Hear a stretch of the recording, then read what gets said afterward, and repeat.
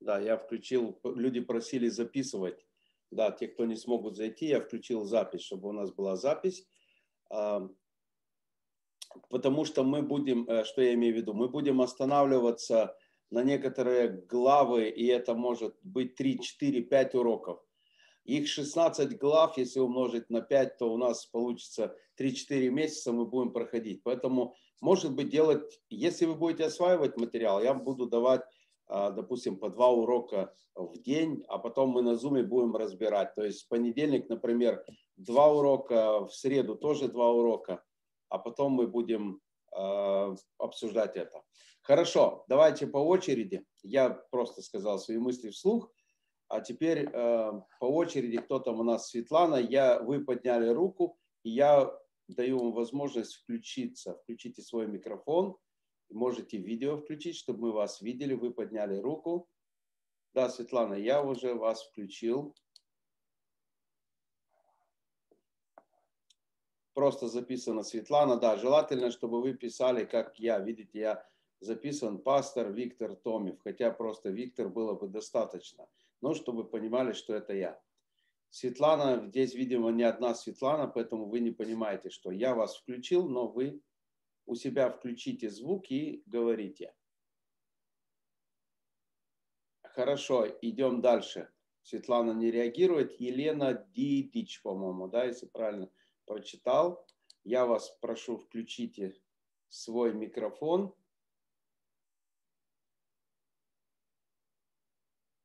Вы тоже, у вас не получается, либо у нас настройки такие.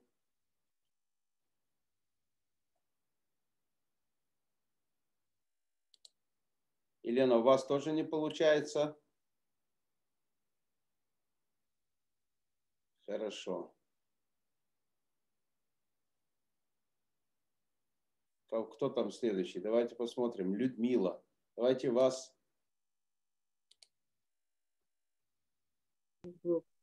Не знаю, какая Людмила, но я Людмила. Людмила включилась, да. Да, да. Добрый вечер. Я очень благодарна за эту школу. Я немножко послушала вас вы на воскресном служении, там говорили по римлянам, да? И у меня уже мозги перевернулись как-то. У меня сразу как это раз по-другому как-то смотреть стало даже на сына. Ну, я думаю, я очень хотела бы поучиться в этой школе, чтобы эти мозги перевернулись полностью на правильный как слово говорит, как оно на самом деле есть. Спасибо вам большое за эту школу. Я с ожиданием, с таким вот предвкушением, что что-то начнет меняться. Хотя я тоже давно уже в Боге. Вот. Поэтому спасибо большое. Да, спасибо.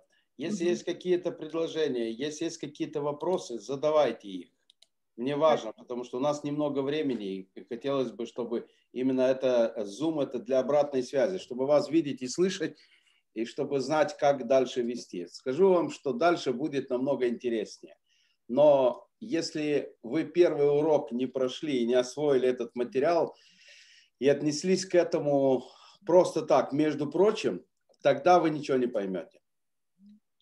Поэтому очень важно, чтобы вы поняли, что такое контекст, чтобы вы поняли, что мы читаем без, без глав и без э, стихов, мы читаем просто письмо, тогда мы больше можем понять контекст. И мы читаем э, послание, которое адресовано нам, и мы не имеем других писаний. Вот только тогда мы начнем копать и вникать, что же имеет в виду. А так все привыкли толковать это Писание другими просто посланиями, как будто бы их было вот так, как галерея у, у римлянам, все писания, и они сверяли. Это, это все э, невежество, которое извратило практически тексты Писания. Хорошо, друзья, я очень рад, что у нас что-то получается. А, так, Людмила, не знаю, просил вас, у вас не получается. Наталья Николова, я вас попрошу включиться. Только почему-то я вас не вижу, не знаю, по какой причине вы не выходите да, вот я вижу вас, Наталья. Наталья. Да, я включила. Здравствуйте. Да, вас слышно, но не видно. Если можете включить видео, еще лучше. Если нет... Виноградного то... привет. Да, слышно э, вас, Наталья. Слышно? Да. Спасибо, значит, мы с вами уже. Только я не знаю, как включиться, чтобы видно было. Хорошо, ничего страшного. Ну, фотографии есть уже хорошо. Слава Господу. Да, слушаю вас, Наталья. Э, Все было доступно настолько, что я думаю, лучше не скажешь. Спасибо за э, эту школу. Давно хотелось разбираться именно в римлянах, потому что, как я поняла, римляне это это доктрина Нового Завета, поэтому будем учиться дальше с удовольствием. Спасибо. Да, спасибо. Спасибо, Наталья. Хорошо, идем дальше. А, Дмитрий Баев, если я правильно читаю, то я вас включаю.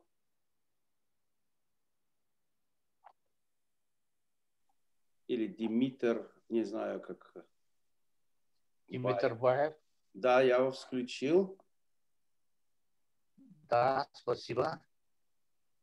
Здравствуйте. Да, здравствуйте, здравствуйте. Пока вас... не было звука у меня, я из Болгарии, из города Бургаса.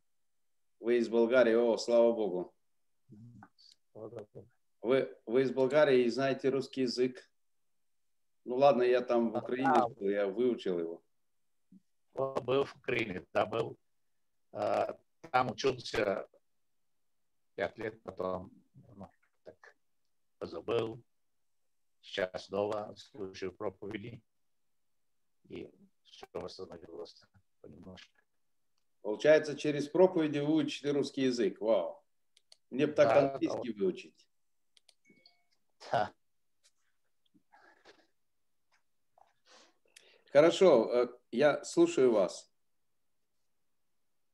А, а, я пытался включить звук, и у меня пока нет никаких вопросов, ну, а, сделал вот. опыт, как, как включиться. А что да. мешает ли? Угу. Здесь мы выключили звук для всех, потому что ссылка, мы чего боялись, потому что ссылка общедоступная.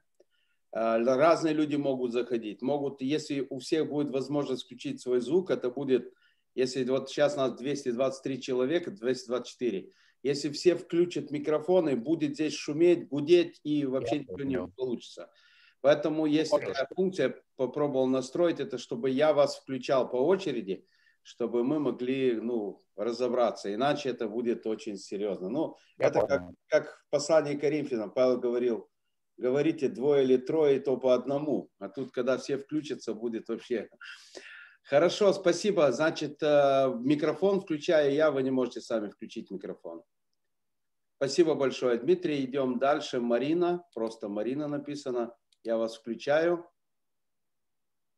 Да, в порядке очереди. У кого есть вопросы или что-то хочет сказать, поднимайте руку, я вас буду включать. Мы будем очень коротко, по существу говорить, учитывая, что это разное время и люди заняты, мы не будем тратить много времени. Пожалуйста, Марина, если можете, я вас прошу включить, я даю вам возможность. Ты зарегистрирован. Да. да, у вас есть уже, мы слышим вас. Говорите. Ты спрашивал, Здравствуйте. Э, я не знаю, какую Марину, меня, не меня вы Вот слышите? тебя, да, вас, вас слышно, да, значит, вас включили. Ага. Э, я рада всех приветствовать. Очень приятно, что здесь очень много людей, все, вот смотрю, все с таким интересом и с таким ожиданием ждут какого-то прорыва, наверное, в своих мозгах, в своих каких-то суждениях, конечно, ждем очень нового, рады, что наконец это все началось, и, естественно, э, такое понимание, что ну, эта школа, она многим просто перевернет, наверное, сознание, мозги, понимание. Ну и вообще, конечно, спасибо большое вам, Виктор, что вы все это затеяли, задумали, наконец-то начали. И я думаю, что выражу всеобщее мнение, благодарность вам за это от нашего всего большого такого количества участников. Давайте, дерзайте, вы вы молодец, вы делаете хорошее дело. Спасибо вам большое. И всем, конечно, приятного погружения в благодать. Спасибо вам. Да, спасибо большое. Будем двигаться, да. Иван Север, пожалуйста.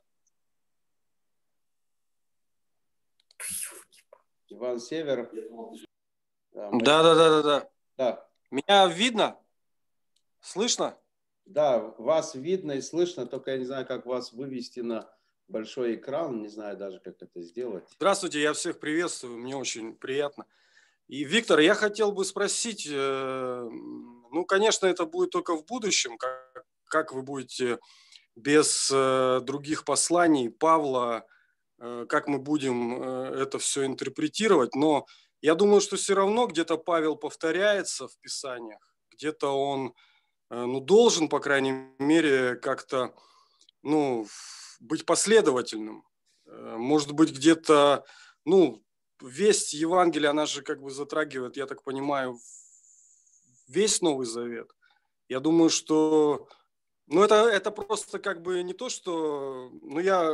Это как бы не претензия, это просто мое как бы вот размышление по поводу того, что вы сказали, что э, не было никаких посланий в других, у других, э, кроме Павлова.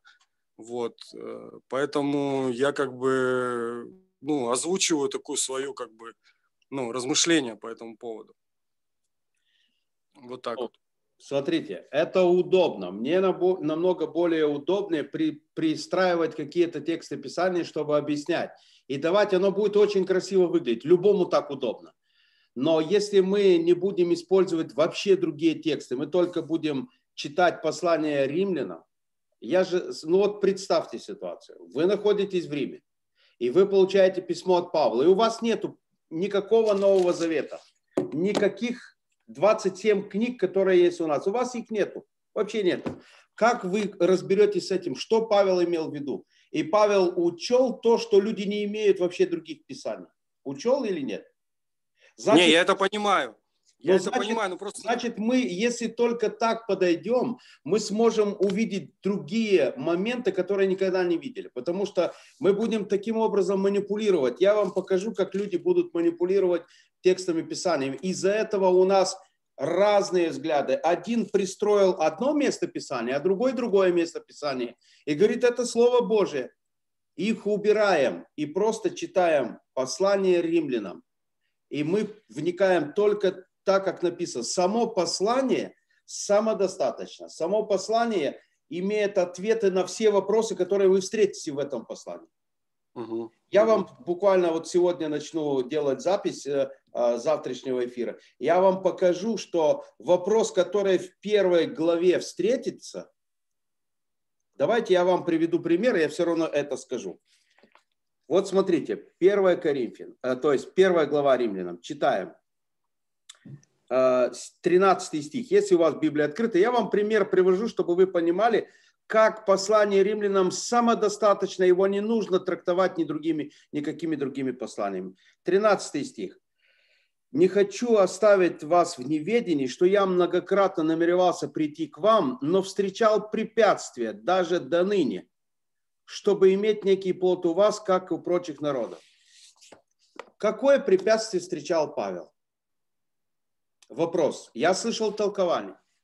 Павел постоянно встречал препятствия ангел сатаны. Знаете почему? Потому что в Кори... во втором послании к Коринфянам Павел написал об этом. И они да, тут да. это присобачили, что э, Павел встречал препятствия, ангел сатаны удручал его, и он не мог прийти. Сатана препятствовал. Еще в других местах Павел тоже препятствовал, э, тоже писал, что мне препятствовал сатана прийти. Он, а это тоже есть. В Деянии апостолов есть, во втором послании к Коринфянам есть.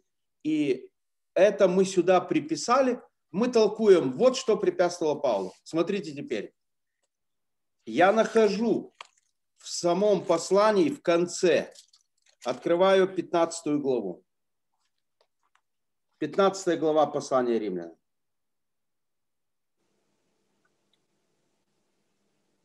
Двадцатый стих он, ну, я мысль чуть-чуть прерываю, чтобы просто вам показать. Притом угу. я старался благовествовать не там, где уже было известно имя Христово, это 20 стих, дабы не созидать на чужом основании. Но, как написано, не имевшие о нем известия увидят, и не слышавшие узнают. Это-то много раз и препятствовало мне прийти к вам. Ныне же, не имея такого места в этих странах, а с давних лет имея желание прийти к вам, как только предприму путь в Испанию, приду к вам. Так что Павлу препятствовало? Много раз и намеревался, но и препятствовало. Ему препятствовало то, это было для него препятствием, потому что вокруг него еще были народы, которые не слышали Евангелия, и он был занят проповедью Евангелия. Вот какое было препятствие Павлу. Вы понимаете, как само послание римлянам самодостаточно, и любые внешние толкования из послания к Коринфянам сделают, что Павел встречался с дьяволом все время. Понимаете? Да, да, понимаю. Вот что я имею в виду, что мы будем читать только послание римлянам, и Павел все объяснит с точностью, и не надо ничего сюда впихивать. И вы увидите, как когда мы так последовательно пойдем, мы разберемся, если мы не увидели ответ в первой главе, он аж оказался в 15 главе, но все равно в послании римлянам. Если мы не увидели ответ в третьей главе, мы его найдем в шестой главе, этот ответ. Павел очень последовательно писал. Павел был настолько подкованным, он на все вопросы ответил. Вот я что понял. я имею в виду. Понятно? А тебе? еще, да, и еще последний вопрос. Скажите, э, может вы дадите какие-то э, печатные материалы, ну или найти их в интернете можно, почитать вот что-то, что именно согласуется вот с благодатью по поводу именно послания к римлянам. Может быть, какой-то материал есть, э, такой в свободном доступе или как-то, где можно более, может быть, детально какие-то вопросы рассмотреть?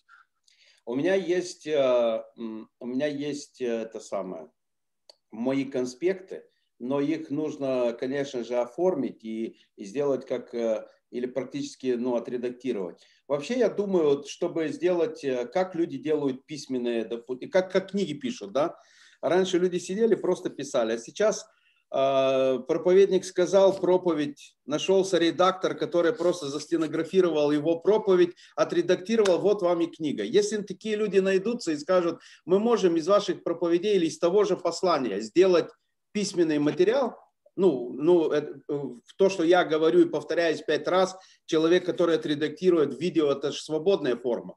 А чтобы письменно, правильно, грамотно изложить, нужен человек, который реально редактор, и он может э, хорошо отредактировать этот материал. Если такие люди есть и смогут сделать э, вот э, в письменном варианте сделать эту школу, потому что кому-то не, не, не, кто-то не хочет слушать, а кто-то хочет почитать, то это то же самое будет, по крайней мере.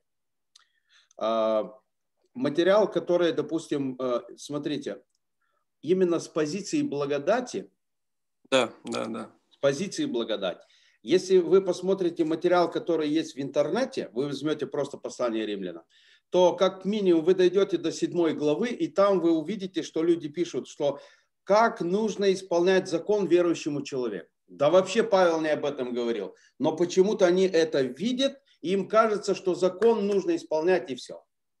То есть материал, который есть в интернете, есть у богословов, он извращенный. Вы знаете, я э, писал моим, э, моим друзьям в Питере, э, чтобы мне прислали э, в записи материал, который мы проходили, э, это было 96 или 97 год.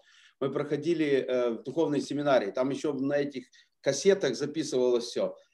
И э, я ждал два или три месяца этот материал, но что-то мне так и не ответили, так его и не дали. Я хотел вспомнить, с чего мы начинали, как это проходили, как нам лекции давали.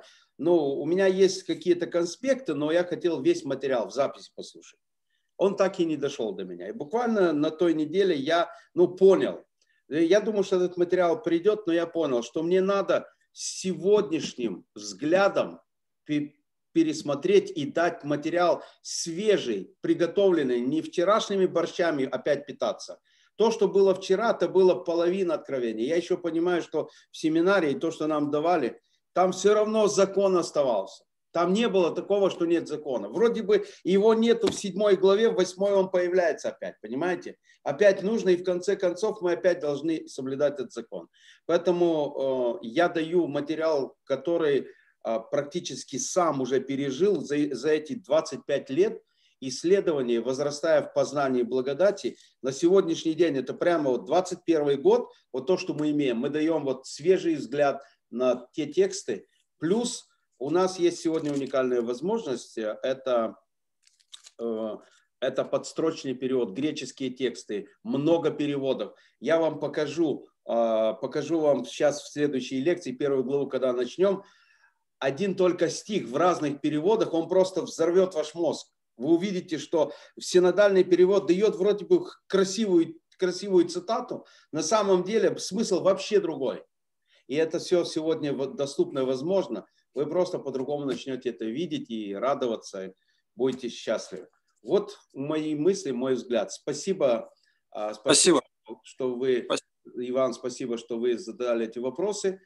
И идем дальше. Надя Панфилова. Я вас включаю. У вас получается. Надя Панфилова. Попробуйте включить. После этого идет Константин. Если Надя не включится, Константин.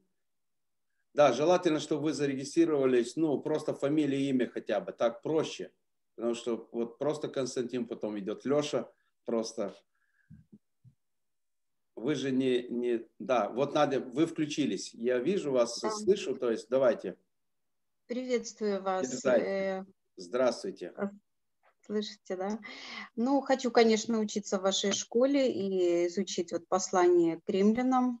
Надеюсь, что все получится, я пойму, и это будет мне благословением. Спасибо вам большое. Да, спасибо большое. Очень рад, что вы готовы учиться. А, так, Леша. Нет, Константин сначала. Ну и Леша включился. Давайте Леша и Константин. По одному... Да я, я дам возможность. Потом отвечу. Давайте. Здравствуйте. Да, здравствуйте, слышу вас. Говорите, да. Здравствуйте, брат Виктор. Я просто хотел поблагодарить вас сказать, что вводный урок э, доступный, понятный, все четко. Вы огромное благословение. Моя жизнь изменилась, когда я слышал о благодати.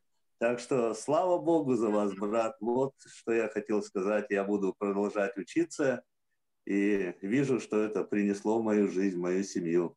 Спасибо большое. Спасибо. Я очень рад, что вы оценили первый урок, потому что некоторым кажется, да, мы давайте уже к римлянам приступим, мы приступим. Но если вы это пропустили и не поняли, что такое контекст и что такое вообще вырывание из контекста, если вы это не поняли, то вы никогда не освоите этот материал. Все время будет путаница, все время будет, вы первое пропустили, второе опять вырвали, и вот так вот по жизни будет. Хорошо, спасибо вам большое. А, Леша, пожалуйста. Алло, добрый день. Да, здравствуйте. здравствуйте. А, добрый день. Уже действительно круто, что такая классная школа. Уже жду ее, ну, вы уже давно обещали, и уже жду, жду сколько. А, у нас вот э, в церкви тоже недавно была пасторская школа, ну, я сам с Киева, церковь Эммануил. Тоже, но я, к сожалению, не смог попасть, и вот тут классная возможность теперь у вас учиться. У меня такой вопрос. Я смотрел то есть у Эндрю Омака есть тоже как бы учение по посланиям римлянам, э, называется «Благодать сила Евангелием». Э, пользовались, ну, или вы, или смотрели, то есть будет где-то пересекаться э, учение э, с этим посланием? Я, я чуть-чуть э, знаком с учением Эндрю Омака, э, но я именно послание римлянам не слушал Эндрю Омака ни разу. Угу. Ну, кстати, вот там кто-то спрашивал, то есть вот именно по посланиям римлянам у него вот называется учение «Благодать сила Евангелием», то действительно тоже, ну, очень классно. И такой вопрос, ну, как бы больше не вопрос, а, то есть, ну, очень также хочется какое-то учение по, по посланию к евреям, потому что тоже сильное послание и вот какого-то более глубокого э, изучения, ну, если бы сделали в дальнейшем, то это было бы бомба. Ну, я, я думаю, что мы пойдем последовательно. Мы пойдем с послания римлянам, потом пойдем послание Коринфянам. Два послания Коринфянам. Mm-hmm. Если пройдем, разгребем всякий хлам в христианстве и посмотрим, потому что послание Коринфянам еще сложнее. Если люди не только не знают про контекст, а еще не понимают, что это ответ письма Павла на их письмо, и он, Павел, цитирует, и прямо видно, как он цитирует из их письма, и это все говорят, вот Павел сказал, на самом деле Павел процитировал то, что коринфяне сказали, а не он сказал. То есть это просто, просто люди какие-то что-то сказали, а, а современные христиане называют это Словом Божьим. Понимаете, в чем беда? Они говорят, вот Слово Божие. Это не Слово Божие, это просто слова каких-то братьев коринфянских, которые Павел процитировал и начал объяснять. Поэтому мы тоже пройдем послание Коринфянам. Я думаю, что послание евреям и, и доберемся до книги Откровения. Разберем еще книгу Откровения. Я думаю, что это тоже будет. Может ну быть, ну да, тем более, что... До года разберемся с Антихристом полностью. У Коринфян, тем более, это же даже не одно послание было, по-моему, у апостола Павла. То есть там даже как бы вроде третье послание было, как бы тоже и там много вопросов. Да. Спасибо Спас... большое. Да, спасибо, спасибо. Будем, будем дальше изучать, вникать. Спасибо большое. Так, у нас следующий. А, Алексей Богомолов. Вас включаю. Да, приветствую, да, возлюбленный. Россия, Волгоград. Э, всех благословляю. Ну, как бы меня видно? А, я лично вас не вижу. Я не знаю почему. Было раньше Момент. функция, где тот, кто говорит, был в центральном в экране, видели все. А сейчас я не знаю, если кто-то может помочь. Если, я не знаю, есть тут кто-нибудь из наших а вот так? модераторов. А вот так видно? Я вас вообще не вижу. Не могу найти среди множества 270 А-а-а. человек нас. Я бегаю по экрану и пытаюсь найти, где вы. Ну ладно, это не столь важно, там моя персона не столь Но если, важна. Если... А, все, я вижу вас. Да, да, вижу. Вижу. Да, ну еще раз приветствую. А, ну, на вашем канале я уже некоторое время э, как бы углублен, да, и, и Игоря Косована тоже. Вот, поэтому, ну, немножко, немножко стараюсь, да, втянулся, стараемся развиваться, потому что, ну, многие-многие вещи, которые раньше были закрыты, на сегодняшний день Господь открывает так сильно. Вот. Поэтому, да, мы всей семьей, собственно говоря, вот, жена моя, сын, в общем, мы все, мы все с вами. А, Иисус спасибо. сказал, познайте истину, и она сделает вас свободными. Вот Аминь. мы их ищем. Да. да, круто. Слава Господу.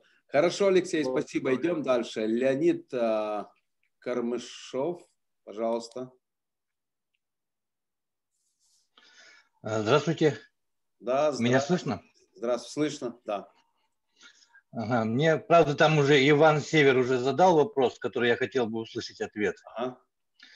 Вот, поэтому вы уже как бы ответили на этот вопрос. Но мне очень понравилась мысль ваша а, о том, что послание римлянам разбирать, не ссылаясь на другие источники. Я сегодня это попробовал. Да. У меня не получилось. Не получилось. Чтобы, чтобы, допустим, ну, не сослаться на другой источник. да, чтобы не сослаться на другой источник. Вы, вот, вы потому что настолько это привык уже к этому. Да, вы представляете, сколько людей, сколько проповедников, и все на разные источники ссылаются, кто-то на это место, кто-то на это. И это уже другое откровение. И столько новых откровений, откровения, откровения, откровения. Просто из, от, от оригинала мы ушли, да. Поэтому мне это хочется это пройти, почему именно это понять, потому что сегодня это словил себя на слове, разъясняя одному брату Писание, там, ну, в одном месте, в одном там разговоре, а, получилось, что сам начал ссылаться на другие источники и ушел от того, чему приш... ну, о чем вообще была речь. Вот. Поэтому мне это очень интересно, очень хочется познавать и, конечно, с удовольствием. И благодарны вам, что вы этому как раз на это обратили внимание. И у меня второй вопрос еще к вам. Да. А по субботам сейчас будет проходить у нас с вами вопрос-ответ? А, вот мы и думаем, может, все-таки по субботам дальше Слушайте. делать материал для школы или просто обычный вопрос-ответы делать? Как вы думаете? Ну, я думаю, что обычные вопросы, а, я думаю, что обычные вопросы делать. Почему? Потому что люди могут быть даже не в теме школы, хотя вряд ли, что тут кто-то не в теме школы уже, скажем так. Но я думаю, что дать людям свободу и задавать вопросы не только по школе, а и, ну, и мало ли какие-то еще вопросы людей интересуют. Ну, что касается этой субботы, вот предстоящей, то э, наши ребята, молодежь вся вроде бы как уезжают на конференцию, мы еще точно не знаем. Если их не будет, то я сделаю материал по школе, то есть можно будет его в субботу получить материал по школе. А если будут ребята, то мы сможем провести, потому что мы сами эфир не можем провести, нужны операторы. А, а так в дальнейшем, ну, mm-hmm. будем смотреть. Но я думаю, что нужно больше давать материала, чем просто вот 45 э, минут э, и потом через день еще там 45 минут это, мне кажется, что мы очень надолго растянем. Нужно больше материала давать. Два урока, урок на Zoom. Два урока, урок на Zoom. Может быть так. Если вы, что вы думаете, дайте тоже, да. напишите, я потом прочитаю все э, ваши комментарии. Если ваше, ваше мнение по поводу э, того, как мы будем проводить вообще школу. Хорошо, хорошо, спасибо. Хорошо. Спасибо большое. Так, кто там у нас следующий? А, Александр Меркин. Меркер, наверное, правильно, да? Александр, включайтесь, дорогой. Ага. Приветствую всех. О, Виктор, привет. Друзьям всем привет. Привет. Церкви своей, она вся здесь. Я уже посмотрел. Почти все здесь. Привет из Германии. Мы из Германии. Жена моя и вся наша церковь. Мы все учимся, познаем, и то, что случилось с нами год назад, это как я тебе как-то написал, что это взорвало мой мозг, и я шел к тому, что все, что я 15 лет собирал в своей голове, все, что я переслушал, я все это убрал в сторону, оставил только Христа, оставил только Его любовь и милость и познаю Его по новой. И для меня это очень важно, и э, увидеть все-таки истину с другой стороны. И не просто ее увидеть, я ее переживал там глубоко внутри, но не мог ее объяснить посредством понимания ну, нашего учения, где мы раньше были. Да. А сегодня и вообще в этой школе хочу просто поставить для себя новые столбы, новые основания, ограничения какие-то, да, как, как двигаться, как понимать, потому что, как вот сегодня брат один говорил, мы привыкли уже видеть так, да, и оно сидит в нашем разуме, но все убираем в сторону и стараемся чему-то научиться новому. Ну, будьте благословены, всем привет. Да, спасибо, спасибо. А, реформация когда-то начиналась в Европе, так что ожидаем серьезного движения там. Ожидаем, что это самое. Э, возьмете матч-реванш. Да, ну, даст Бог, будем бороться. Да, всем, всем привет, большое благословение вам. И а, мы вместе прорвемся, потому что люди, которые переживут Евангелие, настоящее Евангелие, и смогут а, ну, ориентироваться в Писаниях именно как надо, будут ориентироваться – этих людей ничем, ничем, ничем больше не за... Ну, а, смотрите, я вам приведу сейчас один пример. Это все я готовлю на завтра. Ну, понимаю, что люди сегодня, ну, если нас сейчас смотрят 200, ну, у нас тут 275 человек сейчас, то на Ютубе, конечно, уже 4 или 5 тысяч посмотрел. Поэтому я этот материал повторю.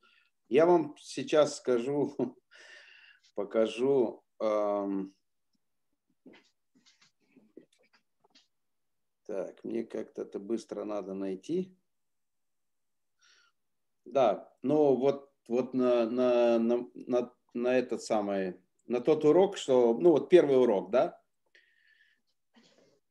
какой-то Марат мне пишет, получи Томев и успокойся. Римлянам 2.13. Вот он дает текст. Римлянам 2.13. Потому что не слушатели закона праведны пред Богом, но исполнители закона оправданы будут. И все.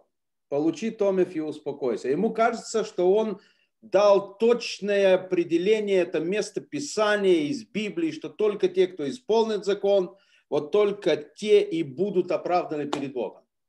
Что это означает? Это означает, что человек, я рассказывал именно в этом видео о том, что нужно читать контекст, где началась мысль, где закончилась. Вот мы с вами пройдем. Первый урок, это как раз у нас будет второй урок. И мы второй урок посмотрим, как Павел показывает иудеям, что вы не исполняете закон. Поэтому если вы его сможете исполнить, вот только тогда оправдать. Но вы его не исполняете. И он закончит, что делами закона никакая плоть не оправдается. И он начинает потом показывать, что именно для этого пришел Иисус. Что ни один человек, все грешны, все лишены славы Божией. Я говорю, так ты, ты еще прочитал, э, прочитал, что 23 стих 3 главы, потому что все согрешили и лишены славы Божией. И дальше не читать 24 получая оправдание даром по благодати искуплением во Христе Иисусе. Можно просто прочитать. Это как будто бы пошли там где-то, ну, не знаю, как в армии там, давайте раздевайтесь, ну, нас, чтобы переодеть, сказали всем раздеться. Все разделись и ждем два года. Никто нас не одевает. Это мы прочитали 23 стих и 24 не читаем, и мы голые ходим. Это что-то подобное, вырывание из контекста. Поэтому, если вы пройдете вот понимание, что такое контекст, как читать, а вот в Библии написано, вот в Библии, ничего страшного, сатана тоже это говорил Иисусу. Вот написано, давай прыгай сверху, ибо о тебе написано. Да, написано только в каком смысле. Написано еще кое-чего, и когда мы собираем вместе эти тексты, у нас тогда вырисовывается картина. Да, ребята, спасибо большое. Я верю, я настаиваю. В каждом уроке я буду говорить, если вы не слышали первое, вот это вступительное слово, вы не слышали вот это предусловие, и вы просто по посланию вы не сможете понять, почему я три главы просто буду читать и, и, и как будто бы ничего не вижу, пока я не покажу, где это, где это находится. Мы будем возвращаться потом из пятой главы во вторую будем возвращаться, из восьмой главы, из из 15 главы я вам показал сегодня, мы вернулись в первую главу, и мы поняли, Павел, то есть вот контекст Павел, он, он аж в 15 главе объясняет. Он первое написал, я имел препятствие. Он говорит, вот это и мне препятствовал. Чего ж ты, Павел, это не написал после, после этого стиха там в первой главе и сразу? Вот это мне препятствовало, что я э, не мог прийти, потому что проповедовал везде Евангелие. Когда уже все закончилось, везде проевангелизировали, вот теперь у меня исполняется мечта, я хочу приехать к вам. Вот и все, весь смысл, без всяких там сатанинских явлений и все остальное. Хорошо. Да, просто как же берет для себя удобное, да, что-то удобное, как ему подходит, какие-то вещи, да, и выбирает, вот мне, моя, мое движение понимает так, выбирает определенное местописание, э, выбирает определенные ну, э, вещи, да, и ими как бы двигаются, да, а вот такого общего познания, да, как исследовать, так э, вот, например, это письмо, да, ну, у нас этого не было, да, там о Духе Святом у тебя там 20 местописаний, о том опять там такого а контекста не было, да, и как это все, ну, бегали, прыгали, понимали, было основание, да, но внутри ты понимал, что-то не то, знаете, я всегда смотрел со стороны на это все, вот, как бы как будто я, а я сам на себя со стороны смотрел, думаю, что-то не то, я всегда себя задавал, что-то не то, вот, 15 лет, ну, вроде бы Бог открылся мне, да, ну что-то не то, что-то не то, да, я сам себя винил, прови, проверял, думал, во мне какие-то ошибки, недостатки, может, я недостаточно святой,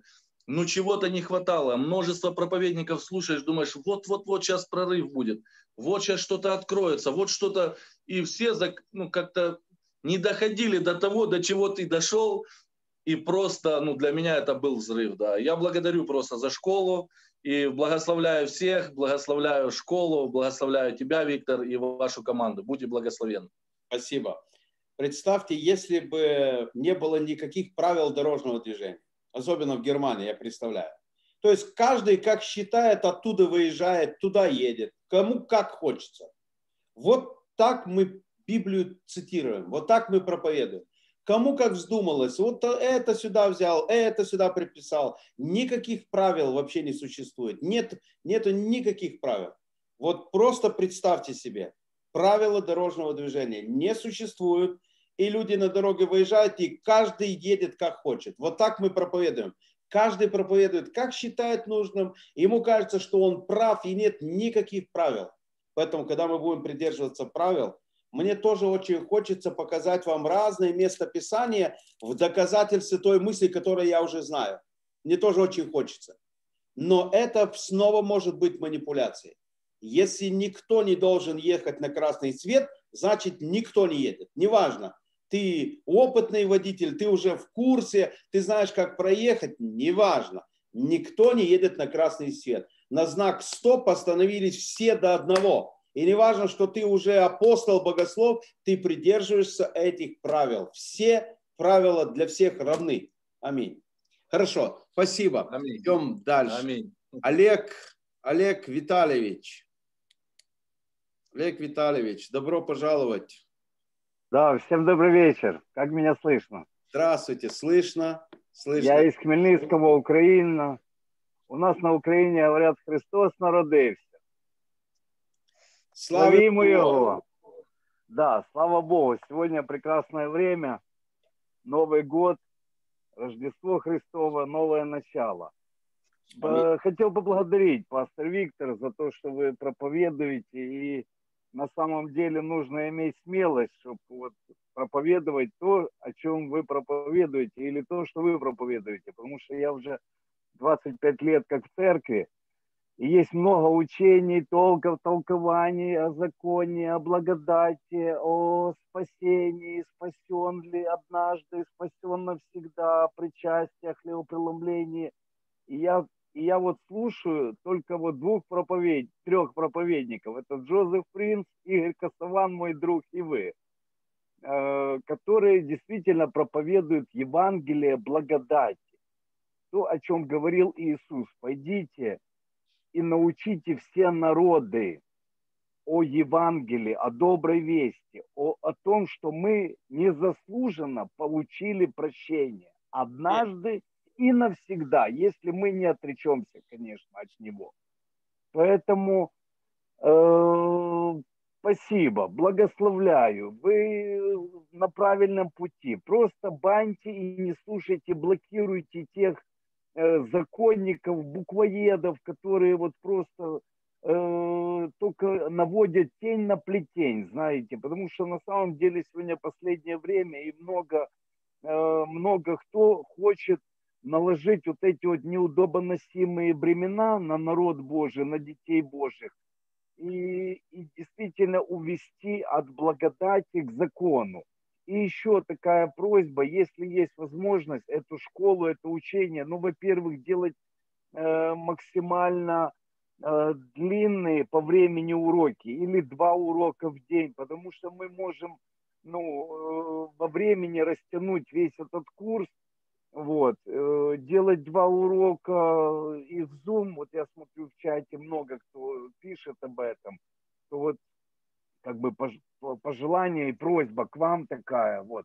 А второе, что если есть возможность это все положить на бумагу, ну, я думаю, что эта книга, это послание, это, это учение – оно будет востребовано не только в русскоговорящих странах, но и по всему миру. Потому что это то, чего не хватает. Многие христиане многие годы ходят просто под осуждением людей, дьявола, обстоятельств, э, ошибок, грехов. А мы, да, мы все грешны, нет праведного ни одного. Для того-то и явился Сын Божий для того, чтобы нас спасти, для того, чтобы спасти раз и навсегда. Поэтому ну, это, это должно быть и как на аудионосителях, так и на э, бумаге, и на книге. В книге подумайте, я по СНГ беру э, дилерство в распространении этого всего послания, потому что, понятно, даром получили, даром и давайте – но, знаете, христиане, они немножко вот есть перекос в благодати, что нам все достается по благодати, но есть э, учение и есть э, вещи, за которые нужно платить. И тогда ты это ценишь, ты в это вникаешь, и ты разбираешься, и, и Господь работает с тобой. Поэтому еще раз огромное спасибо вам. Пусть Бог вас обильно благословит. Очень э, постоянно слушаем вас в эфире, служение, хотя у нас часовые пояса, но, но удобно, что у вас утро, у нас вечер. То есть мы пошли на свои служения, и вечером можем уже пребывать с вами на диване, а вы за кафедрой. Спасибо большое. Пусть Господь вас обильно благословит. Спасибо большое. По поводу вот все, все изложить на бумаге, я думаю, что если есть люди, которые найдутся, потому что если я это буду делать, то это займет несколько лет. А не, если я не об этом, извините. Школы перевести это в аудиоформат и перевести это а, сделать из этого какую-то книгу, то будет здорово, я только за. Мне нужно будет просто согласовать с редактором какие-то вопросы, уточнить, чтобы, опять же, не было да. вырвано из контекста что-то да, или какая-то да, мысль. Да. Одна запятая, вы же поняли, да? Всего лишь казнить, одна запятая может казнить поменять... нельзя помиловать, да. Да, одна запятая да. может поменять весь смысл. А таких запятых мы увидим, которых не было. И вы не представляете, сколько интересного мы будем копать, которая будет просто, ну, ну вы увидите совершенно все по-другому. Поэтому слава Господу. Спасибо большое за советы. И я прочитал, пока вы говорили, я еще успел увидеть, что люди за то, чтобы у нас было по два урока сразу.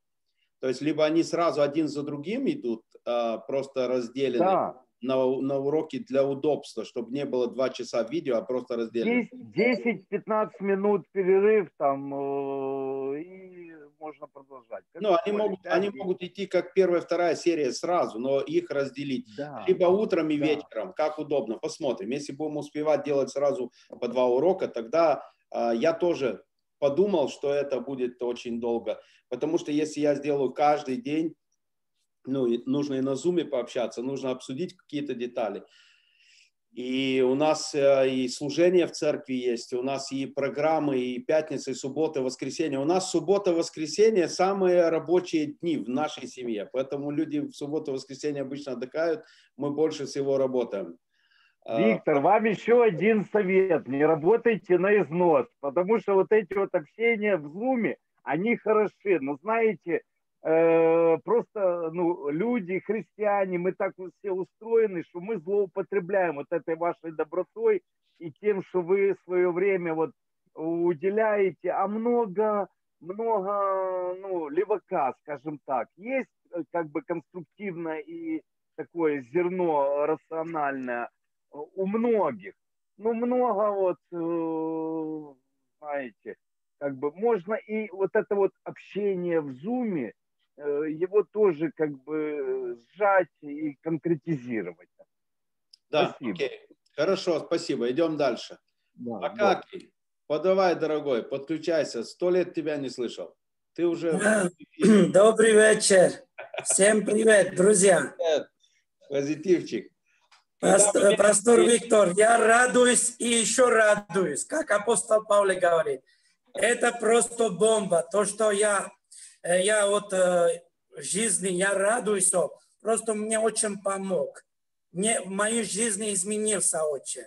И я хочу вот поблагодарить тебе, э, благодарю тебе за такую большую работу, за эту школу, которую вы распространяете правда, настоящее Евангелие, настоящее Царство Божие. Это большая работа.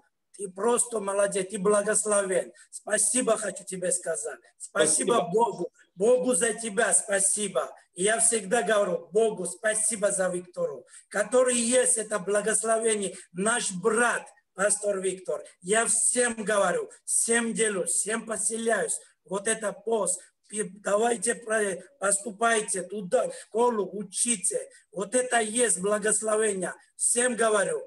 И вот это вот хорошо просто. Да? И я хочу сразу, всем пожелать... добавилось еще 5-6 лет жизни после... Да, это правда, это точно. И я хочу всем, кто сейчас первый, вот первый только начинает учебы, просто не пожалейте, дорогие братья, сестры, кто вы сейчас слушаете, просто не пожалейте. Это есть фундамент. То, что пастор Виктор нас будет сейчас учить. Слава Богу за тебя, Виктор. Всем привет, всем благословения. Сильно благословляю всем. Аллилуйя. Спасибо. Я очень уверен и надеюсь и уверен даже, что после окончания школы вы станете сами учителями, вы станете мастерами. Вам не нужно всю жизнь кого-то, у кого-то учиться. Таким вы должны учить других, и у вас будет аудитория. Таким образом, очень быстро можно достигнуть проповеди Евангелия. Это мечта Павла, чтобы... Научить... Так и делай, так и я уже делаю, так, так я уже встаю. Я не, я не, я не могу там достигнуть э, в вашем регионе людей, это вы можете достигнуть. В Германии я не могу достигнуть, там другие могут достигнуть. Поэтому вы и есть те люди, которые можете другим помочь.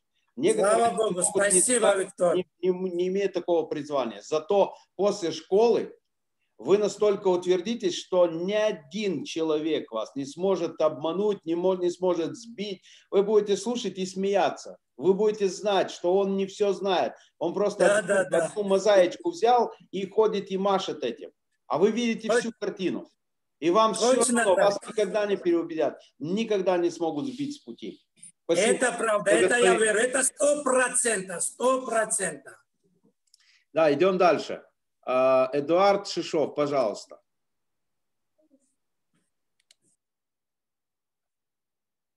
Получается у вас? Так, вот. Есть, есть. Вот. Мы слышим вас. Да, добрый день. Вы меня застали на работе, прям самый ответственный момент. Да. Ну, вот. Сейчас, сейчас включу камеру. Вот. Здравствуйте еще раз. Привет из Калининграда.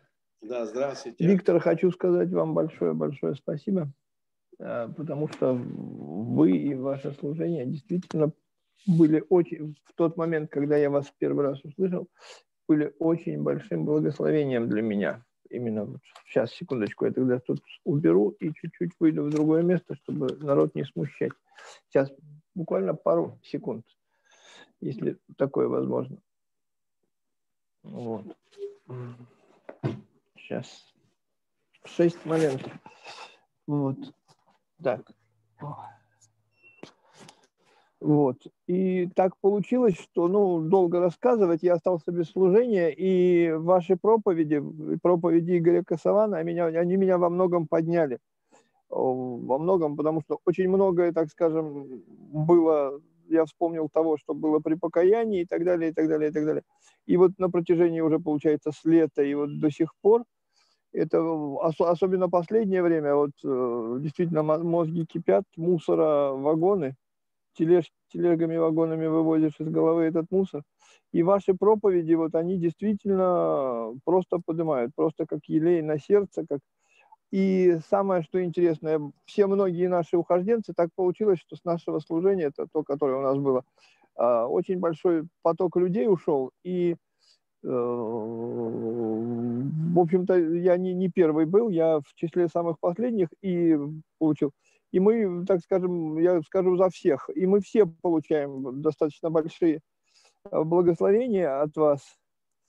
Вот. И, и, и школа вот это вот э, очень хочется действительно понять.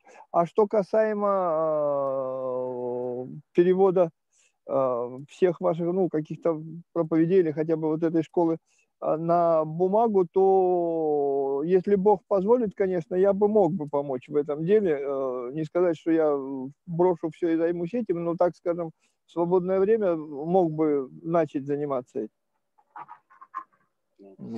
Хорошо, так хорошо. Что... Спасибо большое. Хорошо. Ну все, всего дальше. доброго, благословения много... вам. Спасибо вам большое. Да. У нас много рук, уже мы один час общаемся, не хочется это растягивать, у нас много работы еще. А, поэтому хотелось бы, да. Следующий у нас э, Дмитрий Давидюк, пожалуйста. Я вас включил. У вас не получается, Дмитрий? Еще раз. Дмитрий? Нет? Алло. Да, есть. Слышно вас. А, приветствую вас. Приветствую вас. Здравствуйте. А, у меня просто как раз ребенок начал кричать в этот момент. Вот, сейчас, сейчас одну секундочку. Извините, что не в самый удобный для вас момент, но... А, скажите, а можно меня сейчас это отключить и через одного? Просто да. я сейчас ребенка успокою, чтобы я вас не, не, не тревожил. Да, включим. Следующий у нас Игорь, пожалуйста. А, спасибо большое.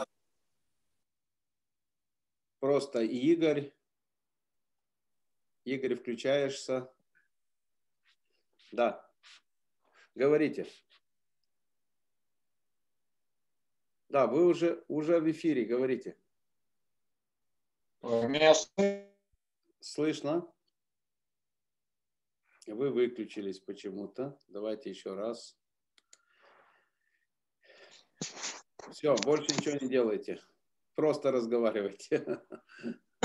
Да. Приветствую всех. Здравствуйте. А, слава, а, слава Богу. А, когда начал вас слушать, а мозги просто начали на место становиться.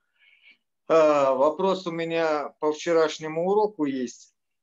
А, хотелось бы определить и понять, по поводу контекста, где он начинается,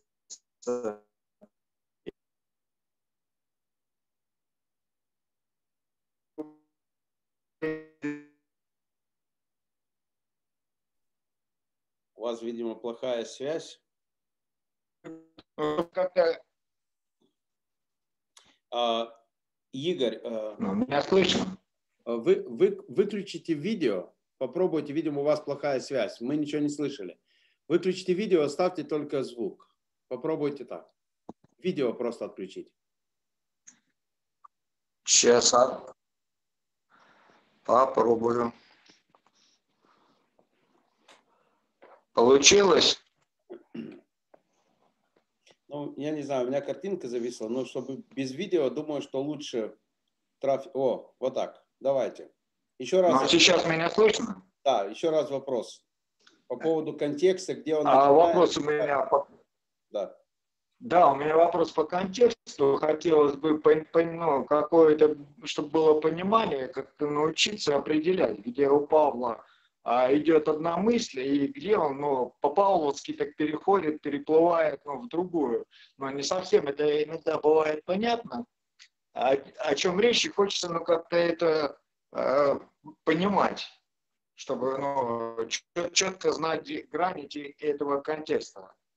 Да, э, в процессе изучения я буду именно указывать на это. Вот смотрите, где начался контекст. Вот где, откуда. То есть, что такое контекст? Это связь между предыдущими и последующими текстами. Он должна быть какая-то связь. Э, я вам могу показывать, просто сейчас нет времени, а, в других местах, допустим, как связь оборвалась, нету никакой связи, вообще нету связи. И непонятно, почему это вставлено. И пока мы не разобрались, где оно находится, то есть если люди упускают этот момент по поводу контекста, то просто будет что угодно. Каждый будет рисовать свое видение, свой взгляд на, на, на этот текст. Я в процессе изучения обязательно вам буду показывать это, как увидеть если мы, мы не увидели его здесь рядом, мы будем дальше двигаться. Где, почему, к чему он говорит эту мысль?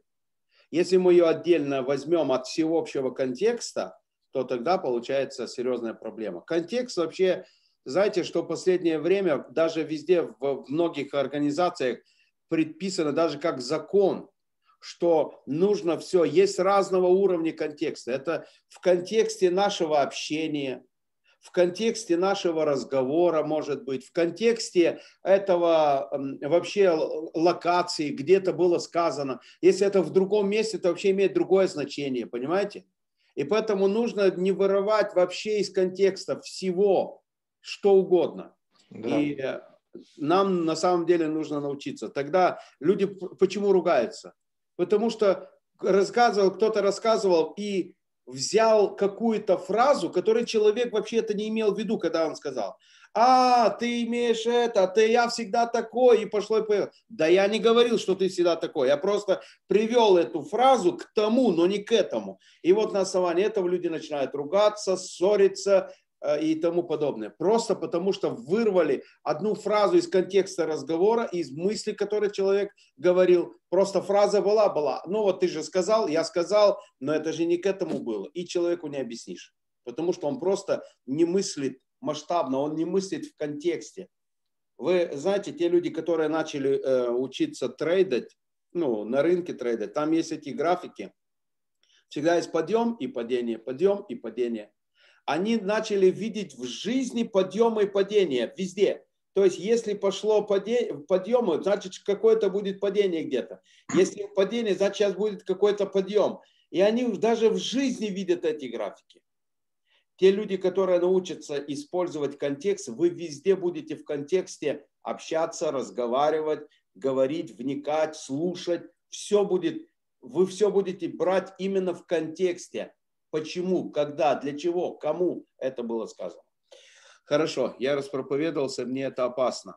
Где, на ком мы остановились, кто у нас был, друзья? А Игорь, да? Игорь был. Вы еще здесь? Да. Да. Я здесь. Хорошо, Игорь. Я... Спасибо за то, что вы уловили мои мысли я... и держали я... ее где-то там у себя в загашнике. Я обязательно буду это показывать, где какая мысль начинается, мы будем двигаться дальше. Спасибо большое. Спасибо. Идем дальше. А, Лилия. Лилия, у нас еще 7-8 человек. Хотим... А, меня слышно, да? Да, вас слышно.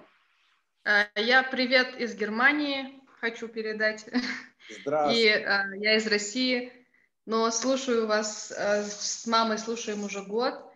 И я бы хотела спросить, может, если не секрет, вы можете сказать эм, по благодати, как, как долго у вас прошло времени, чтобы это начало работать? Просто мы уже слушаем, ну, год вас, и э, по, ну, плодов мало, поэтому, может, ошибки там в чем-то. Ну, вот, если это не секрет, вы можете рассказать. И я хочу сказать вам спасибо, что вы говорите смело о тех вещах, которые ну, могут очень э, сильно ранить э, религию, и что они сильно прям, как сказать, они, э, ну, такие радикальные вещи, которые не, не каждый может сказать. Все, спасибо. Спасибо.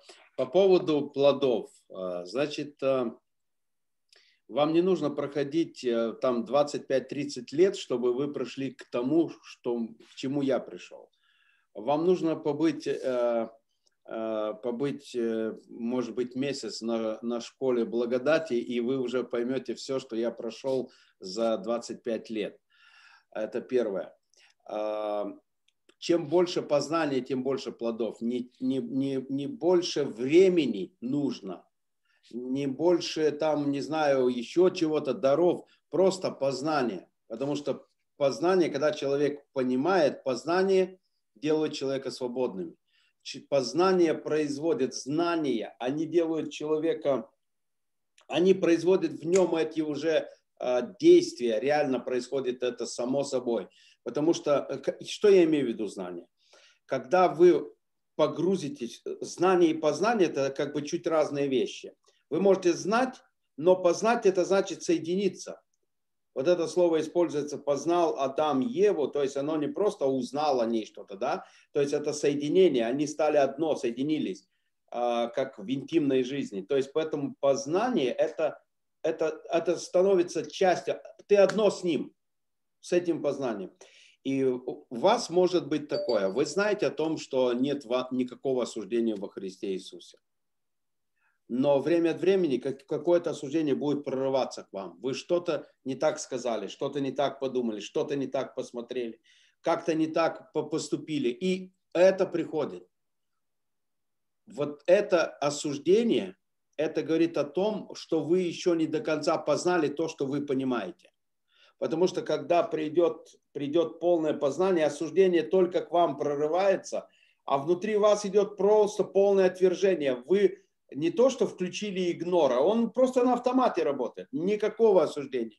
Нет осуждения. Благодаря тому, что не будет никакого осуждения, вы становитесь свободными от любого давления, от любого греха, от любого неправильного поведения. Вы настолько становитесь свободными. Вот это, это, это вот такая взаимосвязь происходит. Поэтому э, в эти моменты вам нужно действовать, вам нужно говорить, пришло осуждение. Нет никакого осуждения. Я, я свободен во Христе Иисусе. У меня нет никакого осуждения. Даже если вы начинаете это испытывать. Начинайте как бы, ну, реально с этим бороться, чтобы это стало вашей частью. Некоторые скажут вам, что вы хотите, чтобы ваша совесть полностью сгорела. Да нет, чтобы наша совесть из немощной, из порочной стала совершенной, свободной. Совершенная совесть – это которая не испытывает никакого осуждения ради Иисуса Христа потому что я праведен из-за его послушания. И даже какие-то мои косяки вообще не являют, не имеют никакого значения сейчас, чтобы я имел отношение с Богом или нет. Я же не на основании закона, а на основании благодати. Хорошо, я думаю, что в процессе, в процессе изучения послания вы очень много еще поймете и много откроется. Вы будете получать откровения там, где я даже не предполагаю. Вы, я, я просто буду давать акцент на одно, а вы совершенно другое увидите. И каждый получит откровение свое, которого ждало его это откровение. Хорошо, спасибо. Спасибо. Идем, идем дальше. Спасибо вам за ваше, э, за ваше свидетельство. И так, у нас дальше Вадим Макаров. Всем привет большой. Слышно меня? Да, слышно и видно. Э, привет с Хмельницкого. Я очень рад всех видеть. Привет. Э, я как бы, э, я слушаю уже тоже довольно давно у вас, пастор Виктор. И по поводу того, что вы даже говорили о, про осуждение, про совесть, это, это именно тема исповедания грехов конкретно изменила мою жизнь. Я очень вам благодарен. Э, ну, у меня есть все, жена есть, тоже мы, мы вдвоем слушаем ваши проповеди уже где-то полтора года, и ну, много, много чего изменилось в моей жизни. Очень благодарю и за школу, которая по посланию к римлянам здесь, ну, во многом, кстати, по, на тему осуждения тоже э, хороших моментов. И Просто э, хочу поблагодарить. Вопросов пока нету э, по школе. Думаю, дальше появляться. Всем привет. Пока. Спасибо большое. Спасибо. Идем дальше. Аля Коша. Если я правильно читаю. У вас нету, у вас нету способной, у вас нету микрофона, я не знаю почему. У вас есть рука, потом вот это X, любовь тоже то же самое. Я, вас, я, я не могу включить вам микрофон, у вас его нету просто. Вы функцию не добавили. Хорошо, если у вас получится добавить, то я вас добавлю. Николай э, Ойстрах. Давайте. Слышим вас. Доб... Доброе время суток всем. Здравствуйте. Я очень рад всех видеть, потому что вы все для меня братья и сестры потому что все близкие по духу. И я очень рад видеть, конечно, э, Виктора Томио, пастора, потому что когда я услышал первый раз проповедь, которую она называлась, э, я не помню, что-то Бугатти, как э, машина такая. Это первое давно было проповедь. Вот. И для меня как будто бы вот а, какой-то дождь вот э, благодати сошел, вот свежий освежающий дождик прошел на меня. Я почувствовал, что я как бы освежился. Я почувствовал, что ко мне вернулась первая любовь, первые христианские чувства, которые я испытывал, когда только что уверовал. Вот это все я вновь почувствовал, то, что когда-то давным-давно утратил. Это было для меня удивительным прям ощущением что как будто я заново родился опять. Вот. Я очень благодарен вам, э, Виктор, э, потому что а то, что вы говорите, оно было давно уже во мне а, изначально, я его держал в себе как только мог, потому что все, когда я э, говорил в церкви, что Бог, он не может э, быть двойным, у него нет двойных стандартов, он либо хороший, либо плохой, и что Иисус пришел спасти, но не погубить. А, то есть я стоял твердо на своих этих убеждениях, как только мог. А, хотя много, э, сопротивлений в мою сторону, мой адрес очень много было э, таких вот э, э, нападок. То, что ты однобоко говоришь, ты не так говоришь.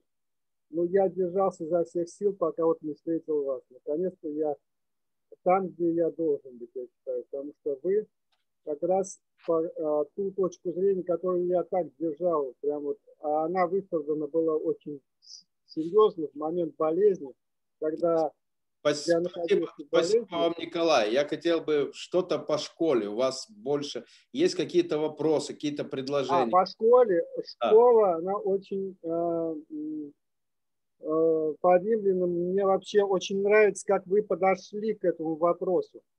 То, что именно так именно изучать одну главу, вот именно так, как она есть. Потому что однажды, как я прочитал Евангелие, а, я прочитал с литературной точки зрения, не как вот просто как литературу прочитал, как историческую книгу. Вот Евангелие я прочитал таким образом.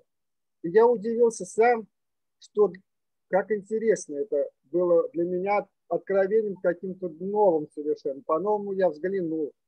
То есть я ее целиком прочитал, это Евангелие, и мне прям как будто бы что-то такое интересное вообще, что-то по-другому совершенно это было.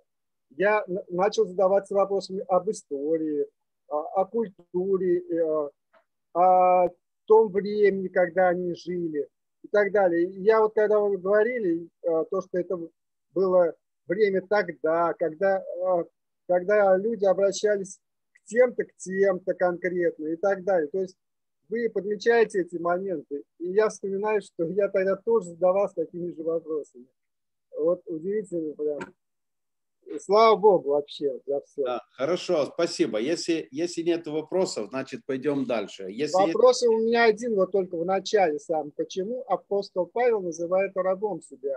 Ну вот, вот это ж мы ж э, еще не начали читать. Я да, по, да, да, поэтому по пройденному пока, материалу. У меня прямо, пока еще, у меня конспект, могу вам показать прямо представление Павла и вопрос, раб сразу. У меня это есть, тут все записано. Я знаю эти вопросы, я же, я же вам сказал, что в этом предисловии, что я знаю, как и Павел, как, с какими вопросами он встретится если он приедет в Рим, или какие вопросы ему будут задавать, и он задавал вопросы, как будто бы ему кто-то задает, и он сразу на них отвечал. Я уже знаю эти вопросы.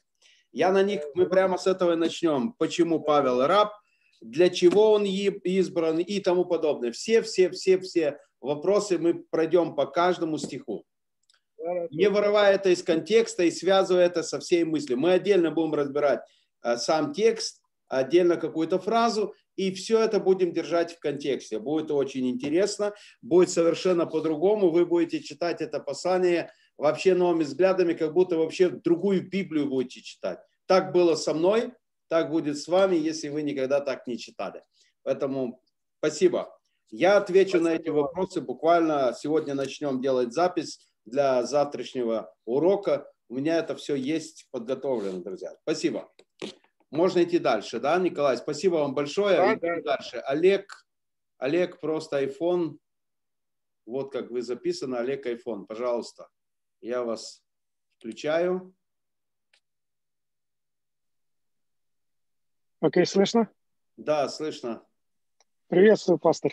Это, Олег, Это мы ваши местные. Олег Чубан, а тут... Олег Чубан, да. Да. Да, ваши местные. Спасибо за ваше служение, за просто потрясающе. И а, ну, мы вас поддерживаем, мы с вами, а, с вашей местности.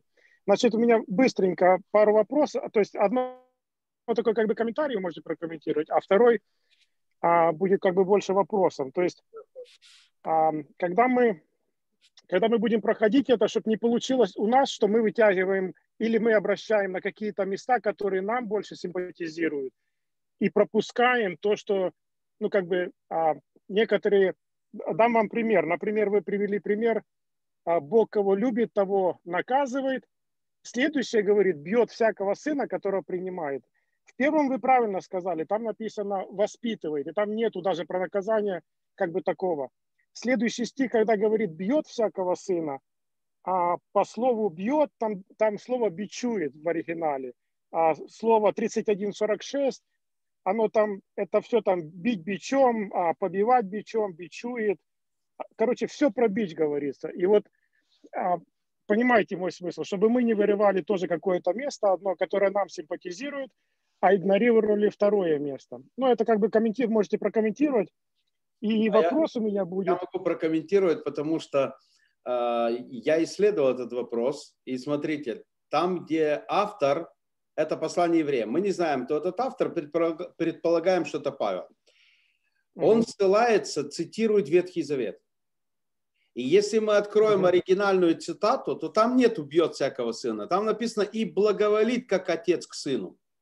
Да, я слышал это ваше объяснение, да. Тогда у меня вопрос.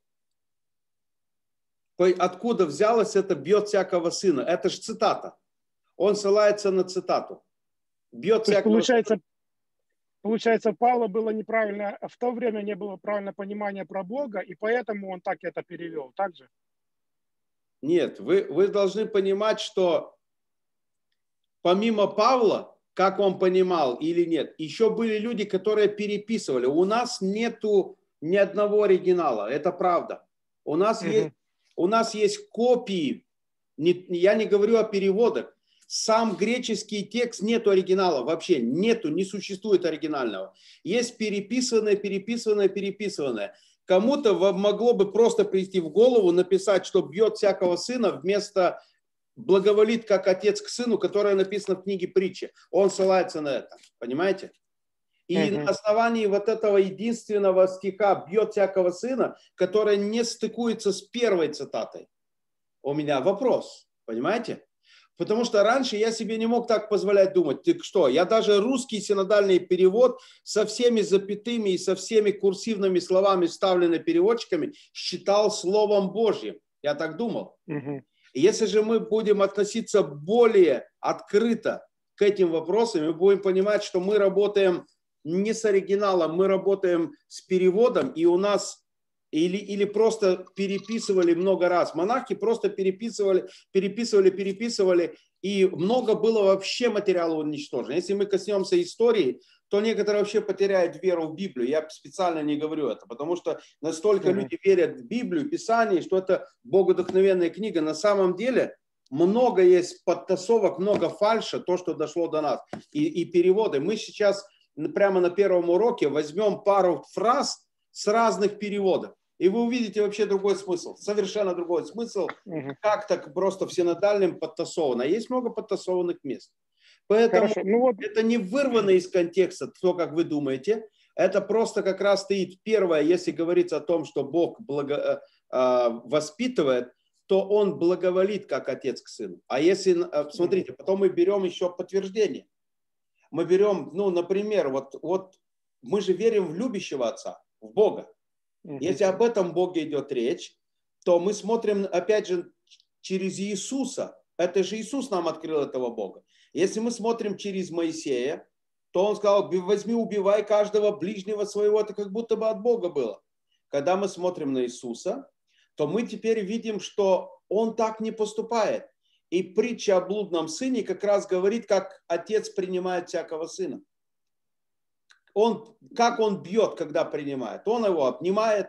Этот хочет сказать, не могу я прийти как сын, просто прими как раб. Да закрой рот, иди сюда, мой сын возлюбленный. Одевает его, обувает его, дает ему перстень, давайте радоваться, веселиться. Как он его бил? Он ему печень вырвал, потому что на этом месте как раз, вы же кто-то попал в аварию, Бог кого любит, того наказывает, бьет всякого сына, и еще там что-то сгорело, там еще что-то, дети умерли, это Бог кого любит, того наказывает. Разве так отец встречал сына? Как он принимает? Бьет всякого сына, которого принимает. В оригинале говорится и благоволит. Бог благоволит, как отец к сыну своему. У вас же есть дети? Да. Да. Как вы бьете своих детей, когда принимаете там со школы, там домой? Когда... Я, я только когда стал отцом, то я понял, как Бог относится ко мне. О, то есть вот. я понял, насколько, вот, он, насколько он меня любит.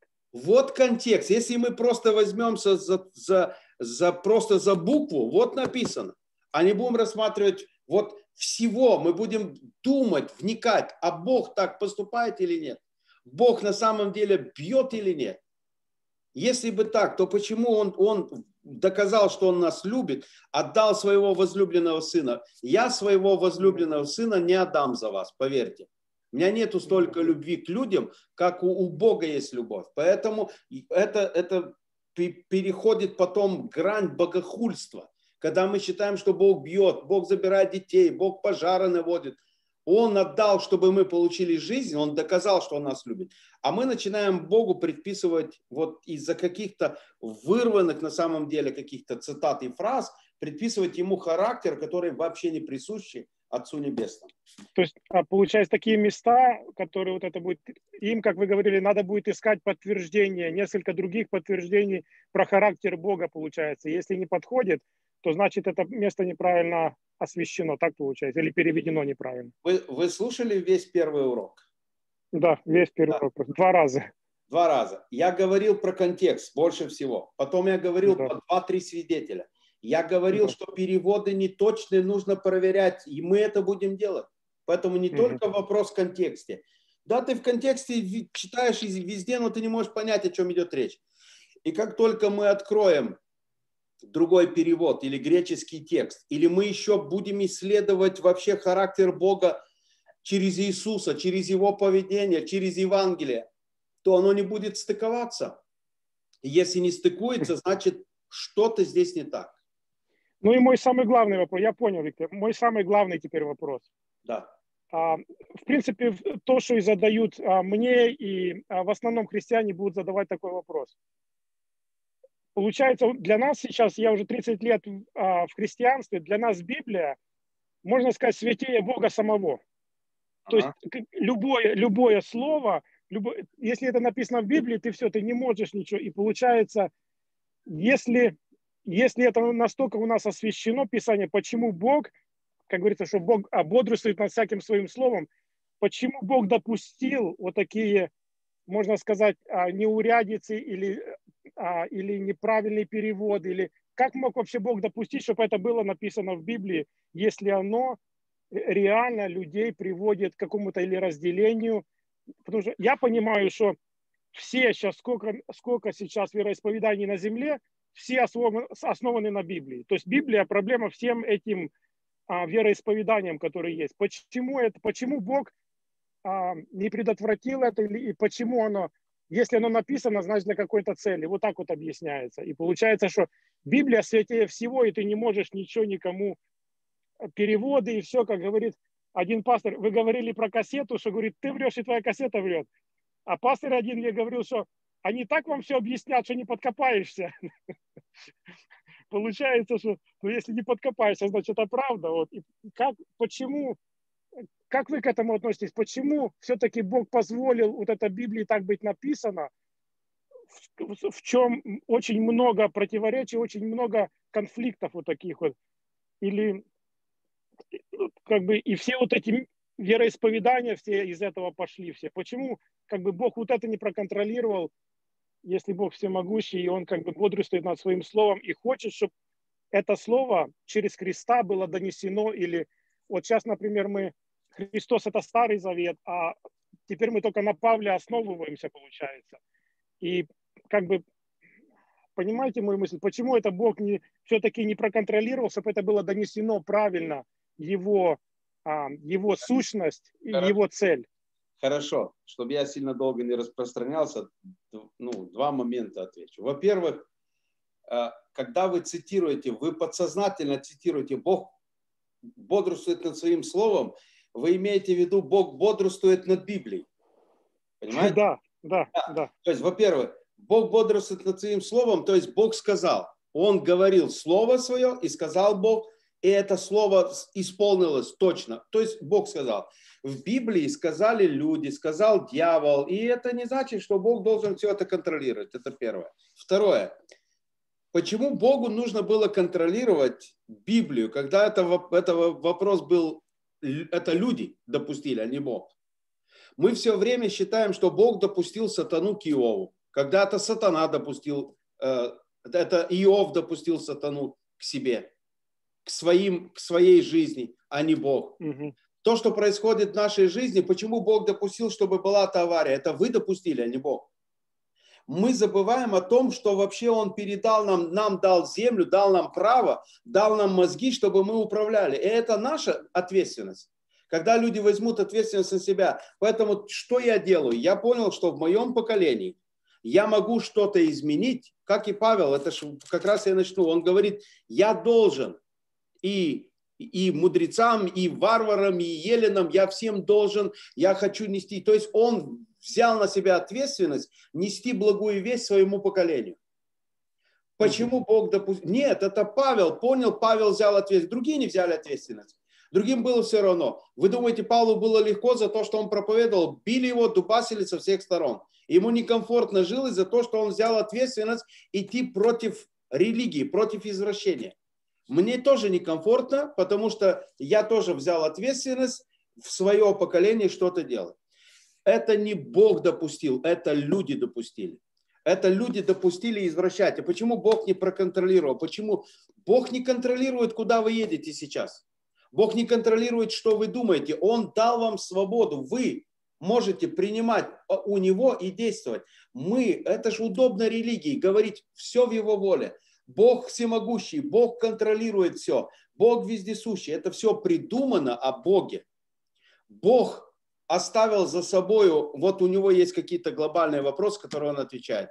А многие вопросы он вообще не отвечает точно так говорили Иисусу. А почему Бог это случилось с этими людьми, которые там, наверное, были самыми грешными? Да если вы не изменитесь, точно так же погибнете, как они.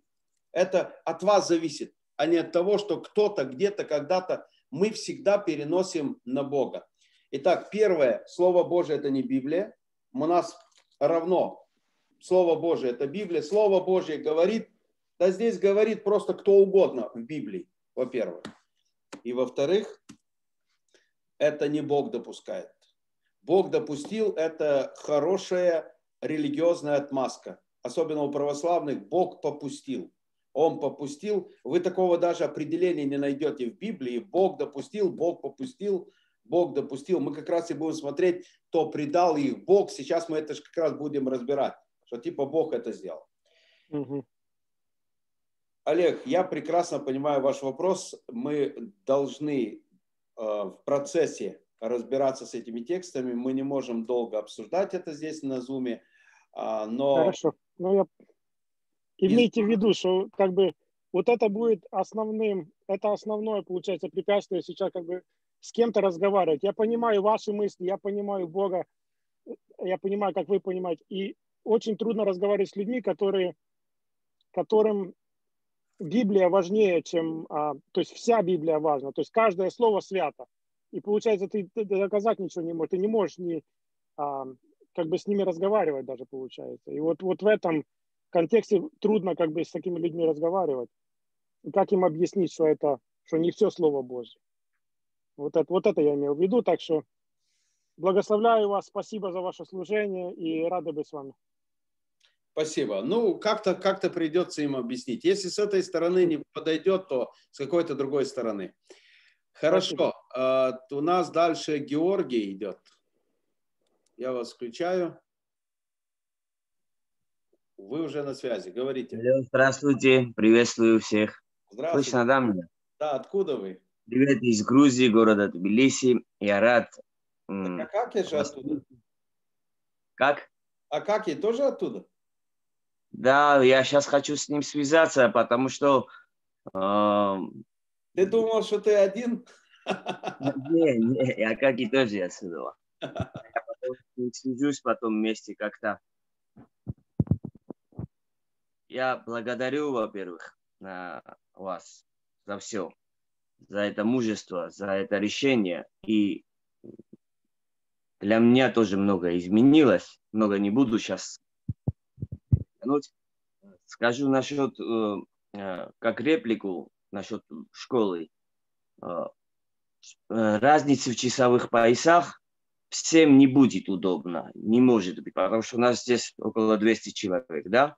Так что мы постараемся подстраиваться под вас. Я, это лично мое мнение. Потому что э, некоторые работают, там другое время, здесь ночь, у вас утро. Потому что лучше э, подстроиться под вас, как удобно будет потом. Да, школа, школа будет все равно в записи, можно посмотреть. Да, да. Так что вопроса к школе пока нету, а остальные вопросы потом подождут. Спасибо за все. Хочу благословить и терпение, и силы вам, чтобы все было четко, хорошо. Спасибо. Удачи. Спасибо большое. А, вот еще к вопросу Олега. А, Олег, я я думаю, что если шаг за шагом мы пройдем до конца, ну хотя бы, ну, э, вот до 14 главы, потом уже там 15-16 глава, там планы Павла, там приветствие, это такое. Важно просто как отметить, как его мышление. Но сама доктрина, сами, сам подход вообще ко всему этому, если мы пройдем эти главы, поверьте, 98-99% вопросов, которые сейчас есть, они сами собой отпадут. Просто, просто отпадут. Мы задаем сейчас вопросы, потому что до конца мы не видим. И знаете, оно как, как чешуя будет спадать вот так вот. Один вопрос, второй вопрос, третий вопрос. А, потому что вы увидите, как работает контекст, вы увидите, как работает а, вот, вот все, что Павел писал, и мы поможем а, увидеть, используя при, вот мы будем брать разные переводы, чтобы увидеть, вот, вот найти, может быть, вот суть как раз, которая именно и связывается. Вот так будем работать с этим материалом. Хорошо, Георгий, спасибо вам, благословений вам. А, Валентина еще у нас попросилась. Еще у нас четыре человека. Пожалуйста, давайте. Уже все равно, уже почти час сорок мы общаемся. Валентина, если можете, включайтесь, что у вас... Да, вас уже слышно. Здравствуйте. Здравствуйте. Я приветствую всех. Великая Лепетиха, Херсонская область, Украина приветствует. Спасибо, спасибо. Очень рад. Я хотела, я хотела, Виктор, поблагодарить за школу. Так, так ждали школу. Мы с мужем постоянно смотрим, постоянно участвуем в ваших служениях. А школу так ждали. Спасибо, что вы учите, что такое контекст, как это вы, вырвать из контекста. Это для нас все новое. Ну, просто хотела поблагодарить. Да, вы, вы в дальнейшем будете читать другие послания – вы будете читать э, Евангелие, где бы вы ни читали, вы всегда будете это видеть, вам будет понятно. Другие люди будут читать сто раз и не понимают, а вы будете понимать. Это будет... Да, да, я, мы, мы рады, что вы нас учите. Большое спасибо вам и благословений вам, вашей семье. Еще, Виктор, ну, хотим как-то участвовать финансово. Не получается у нас с Украины. Я не знаю, как нам научиться. Хорошо. Ну... Мне много уже задавали вопросы. Кто-то написал, а можете сделать как Джойс Майер, как Кеннет Копланд. У них да, да, в Украине, и люди просто спокойно там с карточки приватбанка перечисляют, и для них это удобно. А, ну, подумаем. Меня в первую очередь э, а, думаю о том, как э, достигнуть как, Евангелия, потом как, как достигнуть да? Оно само собой как-то решится, э, хотя испытываем нужду, мы нуждаемся, много расходов, много вопросов по служению. А, но при всем этом, не знаю, я как-то в первую очередь работаю над этим, остальное, ну, как- как-то придумаем, что-то получится. Это потому что, во-первых, у вас есть это желание, у вас есть это понимание, и мы хотим дать вам эту возможность. Да. Когда мы стесняемся, лично я должен говорить, я не буду говорить как бы, но с другой стороны, это дать возможность, чтобы, потому что я всегда так делаю. Я когда учусь, я бываю на каких-то проповедях, я всегда даю, всегда сею, потому что наставляемый словом делись всяким добром с наставляющим, и это как, как принцип, который принесет тебе жизнь вечную, это принесет тебе духовный успех. И я всегда это делаю, всегда. я понимаю, что это нужно дать возможность людям. знаете что? То, что я, у меня получается научиться, очень просто. Я просто запускаю механизм, который работает. Есть люди, которые прослушали, э, слава Богу, все классно, все хорошо, но оно не начало работать в их жизни. Оно просто не работает. Они знают об этом, но оно не стало их частью. Когда мы участвуем финансово, мы вкладываем в свою жизнь. Финансы же это эквивалент нашего времени, труда, энергии, силы. Все, это моя жизнь, мои финансы, моя жизнь, это мой труд, моя энергия. Я когда вкладываю себя, это значит, что я, мы соединяемся, это начинает работать в моей жизни. Я понимаю этот принцип. А, и с одной стороны, как бы вопрос финансов такой больной среди христианского, русскоязычного особенного населения. Он такой Э, ранимый, так э, сложно все. И хочется его как-то в стороне оставить, и школу бесплатно обязательно сделать. И, Не, а мы и... хотим участвовать. Да, я вас понимаю, поэтому понимаю важность, вот с, э, с той стороны, которую я показал. Я понимаю важность этого, и будем стараться. Я попрошу, запишу себе сегодня, попрошу людей сделать такую возможность в Украине или в России, чтобы люди могли не перечислять Э, международные вот эти э, банковские переводы, потому что это достаточно сложно. Ну, там и Коплендом, Коплендом перечисляем, мы дав давно с ними партнером. Так можно ж, вы тоже в Америке. Да, и все, и, и, и все, что они учат, это работает в вашей жизни. Это, поэтому оно, оно взаимосвязано. Слава Господу. Спасибо за советы, спасибо за а, предложение. Благословений вам. Спасибо завтра, вам, завтра Виктор, будет да. интересно. Но поверьте, чем дальше, тем интереснее будет. Тем будет, когда Ждем. мы Ждем. доходить до третьей, четвертой, пятой, шестой, седьмой главы, это будет просто взрыв. И там и двойного Васю похороним, все угодно. То есть вы увидите столько интересного, это потому что вы это все слышали из проповедей, из учения а тут прямо будем потихонечку разбирать, знаете, как, как слона по частям будем есть. По чуть-чуть, по чуть-чуть. Это мощность по такая. Такая мощь это послание римлянам, его надо разобрать красиво, в контексте, без лишних вот всех доктрин и всего остального. Хорошо, спасибо вам. Спасибо большое, спасибо, благословений вам. Связи. Еще три человека, друзья, и у нас как раз будет два часа. Я планировал всего лишь один час. Нас ребята приехали снимать уже видео, а я пока на зуме. Окей, Василий, пожалуйста, я вас включаю. У нас еще два человека после этого. Светлана Нетида последняя, и мы закончим сегодня общение. Я вас включил. Василий, попробуйте.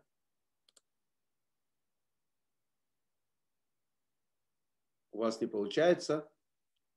Да, я рекомендую вам писать э, фамилию и имя, чтобы было более, потому что Василий не один, опять вы, возможно, понимаете, о ком идет речь. Василий, я вас включаю, вы у себя должны включить или увидеть. Не получается. А, Дмитрий Давидюк, еще раз включаю. Дмитрий Давидюк, если получится у вас. Ва, есть. Вы включили. Есть? Да. Приветствую вас. Приветствую. Как слышно? Хорошо? Здравствуйте. Хорошо слышно, да. Я хорошо слышу. Отлично.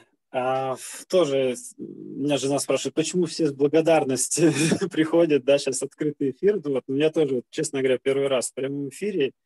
И мне тоже хочется сказать большую благодарность, потому что вот уже, может быть, целый год я смотрю, вот, просто реально тоже мир перевернулся, вот, буквально коротко расскажу. Вот, я э, всегда, меня что-то влекло, я уличным благовестием занимался, молитва за исцеление, может, вы слышали, последняя реформация, такое движение. Вот, я там молился за исцеление на улице, но у меня внутри что-то всегда, ну, что-то было не так. Вот эти вопросы об аде и прочие вот эти все вещи, которые мы поднимаем, вот, они меня всегда мучили. Вот, и я чувствовал, что как бы не до конца я получил свободу. И потом я как-то наткнулся на э, такое тоже там учение, там контекст заветов. Вот, и у меня вдруг стало все на своей полке. И потом я уже увидел ваши видео, и вообще целый мир появился. И мы с друзьями тоже, мы смотрим эти видео, и мы решили даже вот таким образом, как сейчас послание к римлянам, мы решили послание, это, Евангелие от Матфея тоже разобрать. Вот, ну, у нас получилось страниц 300, наверное. Мы конспектировали то, что мы делали. Это просто как будто ты заново читаешь Евангелие, вот в контексте заветов, с понимания того, ну вот именно если подходить так фундаментально и правильно, да, с точки зрения не, не перетягивать тексты на себя, ну, просто. Я даже подумал, что это классно сделать прям такой, как комментарий своего рода, вот как и сейчас было предложение на послание к римлянам. Вот.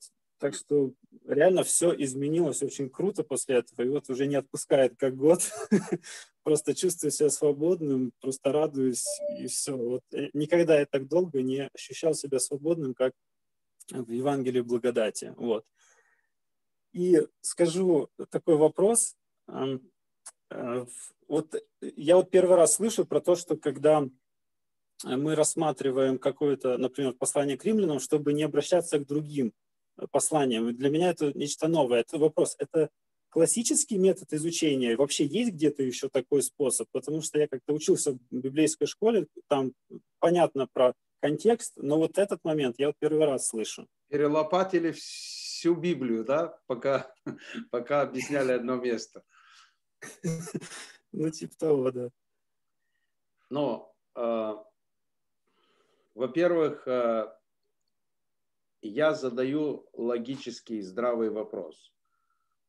Рим, э, Павел, когда писал это письмо римлянам, у них не было других писем. Они ни разу не слышали его учения. Если бы они знали учение Павла, и они его читали из других, он бы не писал им подробно. Он начинает раскладывать, во что он верит. Он предварительно с ними знакомится.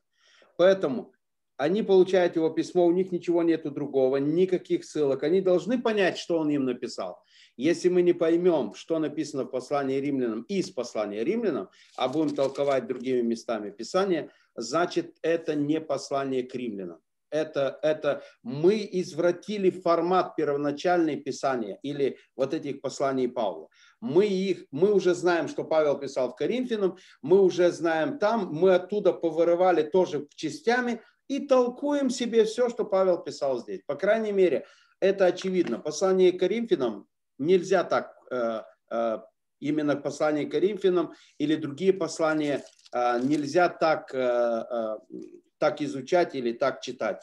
А это именно так нужно изучать, чтобы в точности приближенно понять, о чем идет речь. И когда мы не понимаем в самом послании, что непонятно, и мы не можем разобраться, о чем идет речь в самом послании.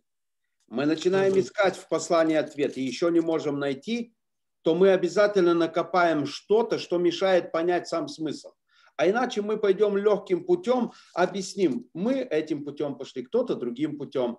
И э, ну, я, я ж в процессе, вот все, о чем говорил в первый, в первый вступительный вот это слово делал, все, о чем я говорил, это каждый раз, на каждом уроке, почти в каждом стихе или в каком-то отрывке я буду об этом напоминать, использовать и показывать вам. Вот почему я об этом говорил, и вот почему это важно. Мы будем это видеть. Угу. Ну, то есть получается, что все-таки это больше как, ну, да, я понял, что это логично, мы действительно, я когда это услышал, думаю, ну да, это же правильно, и в целом-то даже можно это применять, может быть, не только и послание к римлянам, а даже и к другим посланиям, ведь люди имели только, может быть, Ветхий Завет, и то, кто его видел, там, Ветхий Завет там, среди язычников, там, может, слышали краем уха, и то не видели. То есть все, что у них было, это реально, например, у Коринфян, послание к Коринфянам. Хорошо, там, я, может... вам, я вам приведу притчу про, а, про 10 дев. Помните да. притчу про 10 дев? Да, да, да. Да, друзья, кто-то из Германии звонит, ну, потерпите чуть-чуть. Не знаю, может, на зуме, может, нету их. А, притча про 10 дев. А, вот Иисус говорит эту притчу. Его слушают люди. Вы представляете локацию, где они находятся? Они да. находятся в духовной семинарии, находятся в интернете эти люди. У них э, расположены симфонии, Библии, переводы. Вы так себе представляете, когда Иисус Конечно, нет.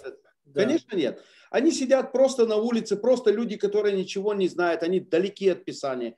И он им рассказывает про эту притчу 10 дев, и там говорится, что одни взяли светильники, а другие масло э, забыли взять. Вы слышали хоть одну, ну, и наверняка вы слышали хоть одну из, одну из проповедей, толкований на эту притчу. Слышали? Слышали? Ну, я слышал, да, 10, возможно, всяких различных Раз. толкований. Да, что берет, что делает проповедник? Он начинает. Делает это очень сложно, понимаете? Мы настолько усложнили, он делает это сложно, потому что чем сложнее, тем выглядит мудрым и духовным. Понимаете? Да. Поэтому, чтобы это казалось проповедь очень духовная, и мы что-то очень глубоко знаем, а кто-то не знает, проповедник нашел по симфонии, начал искать светильник, слово светильник. Да, и да, и все на эту тему. И нашел в притчах светильник, и там mm написано, что Дух Господень светильник человека. Или, или как-то, или, или дух, дух человека, светильник Господень, как-то там так написано, да? О, он понял, что когда э, речь идет о светильнике, это о нашем духе. И он дает проповедь про дух. Потом находит про масло, находит, что масло это символ Духа Святого. Тоже какие-то косвенные места нашел. И начинает проповедовать. А, у одних в их духе не было Духа Святого. И если это вообще пятидесятник, то он будет проповедовать. Они не говорили на иных языках, и они не, были, не, не, не молились Духом Святым, не исполнялись, поэтому, когда пришел жених, они, короче, оказались в аду. И вот такие проповедей вы будете слушать сотни, сотни, сотни, которые вырвали это из контекста. А если просто по контексту, не применяя никакие там другие книги, угу. книжки, да, да, да, просто да. читаешь, и ты понимаешь, что речь идет о том, что в жизни бывают какие-то ситуации, когда ты можешь оказаться внезапно не готовым. Поэтому да. вам нужно быть готовым. Он привел пример о том, что нужно быть всегда готовым привел пример с иудейской свадьбы, которая так бывает. И там не нужно эту притчу делить, что пять э, разумных – это половина церкви спасется, 50% глупых – это 50% церкви погибнет, 50% человечества спасется. Я какие только варианты не слышал. Он вообще не об этом говорил. Он говорил о том, что одни были умными, другие были глупыми. И это случилось внезапно, и все. Вот о чем идет притча. Вот главная мысль. И люди, которые слушали вокруг Иисуса, должны были понять. Скажите, насколько проще вот так читать Евангелие и понимать смысл, да. который изначально был заложен? Да, вообще. Без всяких, я скажу, что... без всяких духовных сложных объяснений. Да. Я когда начал вот так вот читать, я просто я понял, что за каждой притчей, за каждым примером существовала одна мысль, которую Иисус хотел донести, а не, а не миллион, сто, пятьсот. Одна генеральная мысль, а не просто детали притч. Это и так уже притча. А мы на притчу да. еще несколько притч сделали, понимаете? Да, и получается, как в том анекдоте, что проповедник настолько готовился, настолько умную мысль, что даже сам Бог не понял, о чем он хотел сказать.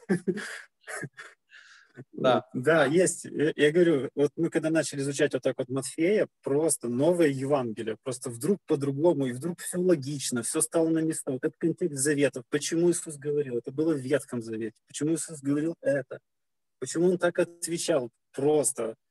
Такое чувство, будто я только покаялся в этом смысле слова. Да, вот, хорошо. Спасибо, спасибо, спасибо большое. Дмитрий. Да, я думал, что ответил на ваш вопрос. И да, у нас да, была спасибо. еще Светлана, но еще и Алексей появился. Хорошо, ну, пожалуйста, все, больше не поднимайте руки. Да, да, конечно. Наше время заканчивается. Светлана, Светлана, пожалуйста, я вас включаю. Пожалуйста, включайте, Светлана. Алло, вы меня слышите? Конечно, слышу. Сейчас э, хочу включить еще. Не знаю как, не умею включить э, видео. Опа, вообще все пропало. Алло? Ну, слышно, вас слышно. Да-да-да, ну, пропало все видео, вы, я вас с не телефона? вижу. Да, да, с телефона. А, как там с телефона включить видео? Да я что-то натыкала. Ну, я, чтобы не задерживать эфир, не могла остаться в стороне. Я хочу поприветствовать тебя, брат Виктор, и всех участников. Э, эмоции переполняют, я не знаю, у меня а, просто вас... нет Алло. Да, алло. Просто, э, внизу должен быть микрофончик, в самом низу. Так, И, вот. и рядом потом камера перечеркнута. Вот нажмите на нее, и она должна включиться. Да, вот камера, вот. Получилось? Э, да, камеру включила, но не вижу, не вижу тебя, Виктор. Зато мы вас видим. Ну, хорошо, что вы, меня видите. Окей. Ну, как хотите. Вот так включено, да, все видим. Э, смотрите, я хочу поблагодарить Виктора за то, что он есть. Я хочу поблагодарить Господа за то, что он такого человека создал, и такие, как я, освобождаются от законничества, и ну, просто ну, других нет слов, и нет таких красивых слов, чтобы передать свою благодарность. Э, я хотела сказать коротко, э, присоединяясь к той сестре, которая говорила о пожертвовании, о даяниях ну, туда, к вам вот, с Украины. И э, хотела сказать, что когда закончится, она еще не начала, ну, только началась школа э, по римлянам, а у меня уже ломка, я уже боюсь, что она закончится, и дальше не будет школы. Надо продолжать до самых до откровений. Это мое желание. Хочу, чтобы, ну, я думаю, не только у меня оно будет. И ну, прошу, чтобы просмотрели вариант такой, чтобы школа продолжалась дальше. У меня есть такая мечта и видение, что ли, что пробуждение, оно будет, и оно начнется с верующих. я думаю, у нас здесь есть, у нас есть здесь э, много пятидесятники, баптисты, они побивали много камнями, и меня, ты, Виктор, знаешь, это не понаслышке, мы лично с тобой разговаривали, и я, честно говоря, им благодарна за эти камни, потому что если бы не камни, я бы никогда тебя не увидела, не нашла. И так бы, наверное, юбочки, эти косыночки, они бы меня затянули. Вот. И хочется, чтобы был такой материал, кроме римлян, туда дальше, по Коринфян, Ефесян, Галаты, все-все-все. Э, я верю и надеюсь на то, что будет у меня встреча, разговоры, и уже есть люди из их конфессий, которые переходят на мою сторону, вот на твою, Виктор, сторону, на нашу сторону. На сторону вот. благодати, на сторону Господа. Да, да. Мы не собираем сторонников, иначе это будет самое страшное, еще одна религия. Да, да. Э, вот. И я думаю, что было бы неплохо, если бы был материал и по римлянам, и дальше, дальше по Новому Завету до самого до конца. Э, потому что я верю в встречи, я верю в то, что э, будут такие разговоры, будут. Я уже подсылала вот этот первый урок, я уже некоторым, кто у меня в Вайбере был, я уже отослала, и ну, пока еще нету никакого ответа, никакой реакции, но я думаю, что я увижу этих людей и потихоньку будем внедрять наше Евангелие благодати среди вот таких вот людей. Э, мне их просто жалко. Раньше я их ненавидела за то, что они со мной так поступали, а теперь мне их просто жалко. Мне хочется им дать понять то, что поняла я. Эту свободу почувствовать и ну, всю эту религию снять с себя и жить в благодати. Именно так, как оно должно быть. И еще я заметила, что сегодняшний эфир как-то без паразитов обошелся. Слава Господу все приветствуют, все такие благодарные, все ну, классные братья и сестры. Я рада с вами познакомиться. И, Но, меня, вероятно, мы раньше не знали, как пользоваться. Вероятно, что даже если кто-то зашел, а видит, что не может ни видео включить, ни, ни микрофон не может. Ну, даже если видео включит, его удалят. И, видимо, они поняли, что тут бесполезно, будут искать в другом месте. Ну, не знаю, пока, слава богу, что так обычно. Да, слава Богу. В общем, я рада поприветствовать всех, рада была увидеть. Я... Все вы классные, мы все на правильном пути. Спасибо тебе, Виктор. Спасибо и привет всей твоей церкви. Спасибо, Для нас большая честь э, быть достойной жизнью на Украине после Васильевки. Так что спасибо тебе спасибо. за это. Представить, что Светлана одна из как бы дочерних церквей, которая решила уже два года следовать а, да. служении быть э, достойной жизни. И мы недавно общались и приняли такое, ну, оно созрело, такое понимание, чтобы а, сделать тоже какое-то время на Зуме для пасторов уже, для служителей, которые уже ведут церкви, а, которые есть в Германии, которые есть э, в Казахстане, в Украине, много-много-много уже появилась такая команда, и мы найдем время, мы найдем обязательно время, мы об этом напишем, и если мы вас всех не знаем, например, знаю, там, Саша из Германии, здесь Меркер, э, еще там смотрю, вот э, пастор, э, э, я вижу, что здесь э, Сапа, да, Ирина, Ирина и Мартин здесь, да? Да, вижу, тоже, вот, вот они тоже пастора дочерней церкви на Украине. А, поэтому я знаю, что много пасторов будет, и мы будем делать еще отдельные встречи для служителей, как, а, как помощь, поддержка, стратегия, как работать, э, как продвигать служение Евангелия благодати.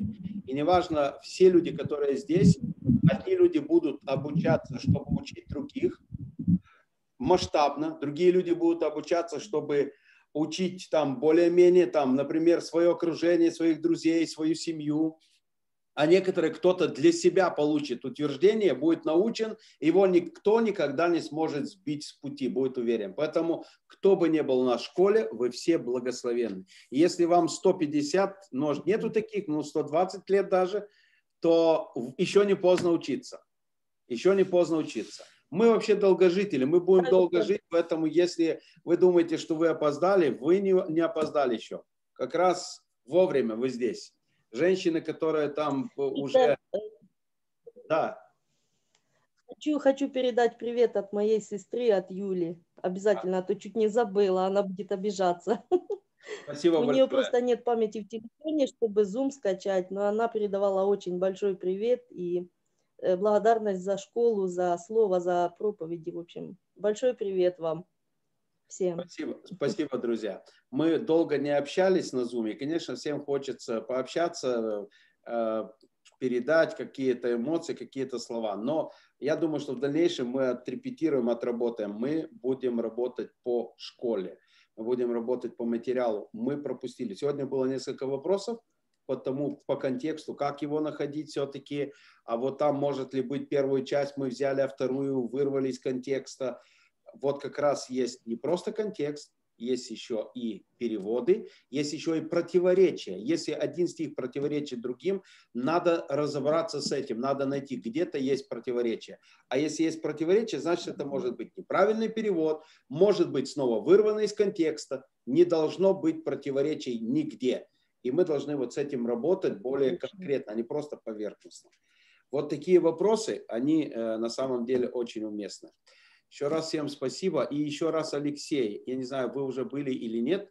Алексей, просто Алексей без фамилии. Я вас включаю, и мы заканчиваем после этого, э, после этого заканчиваем наш Zoom, наше общение.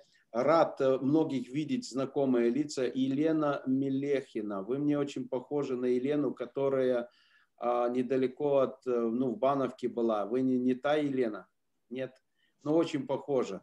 А, может, так показывает. А, кто еще тут много? Э, Наталья Ковалева. Вообще-то Оксана Ковалева, по-моему, была, но была Наталья Ковалева. Я не знаю, новые какие-то люди пришли к нам. В общем-то, некоторых не знаю, некоторых знаю. Очень рад всех вас видеть, быть э, вместе с вами в одной команде. А, Наталья Ковалева, все-таки это Оксана, но, видимо, другой аккаунт, да? А, хорошо. Обычно всегда просила слово, думаю, наверное, это не Оксана, но ничего, слава Господу. Спасибо, дорогие, очень рад, что вы были все. И э, Алексей, да, тут еще пару человек поднимает руку. Мы можем затянуть еще на два часа. Я думаю, не стоит. Э, если у вас есть что сказать по конкретно по школе, пожалуйста, я вас включаю. Э, понимаю ваши переживания, ваши эмоции. Очень благодарен, и это поддерживает, когда вы, вы э, ну, поддерживаете ваши слова, ободрение для нас – но при всем этом очень важно сейчас что-то по школе, и эта запись, которую другие будут слушать, хочется людям тоже ну, разобраться в эти вопросы. Алексей, пожалуйста, я вас включаю. Светлана, вас выключаю, да. Алексей, если вы сможете... Да, да, да. я включился. Слышно да. меня? Да, слышно вас. Да, доброго времени суток. У нас время-то позднее, у вас раннее. Всем доброго вечера, там доброго утра, Да. Э, я, знаете, у меня нет вопросов по, по, по поводу школы. Почему? Потому что она только началась, и вопросы еще не созрелись. Я просто хочу слова благодарности. Я вот уже второй год вас слушаю. И супруга у меня сейчас тоже приспособилась к этому. Я сам с города Санкт-Петербург. Так что у нас здесь растет большая команда.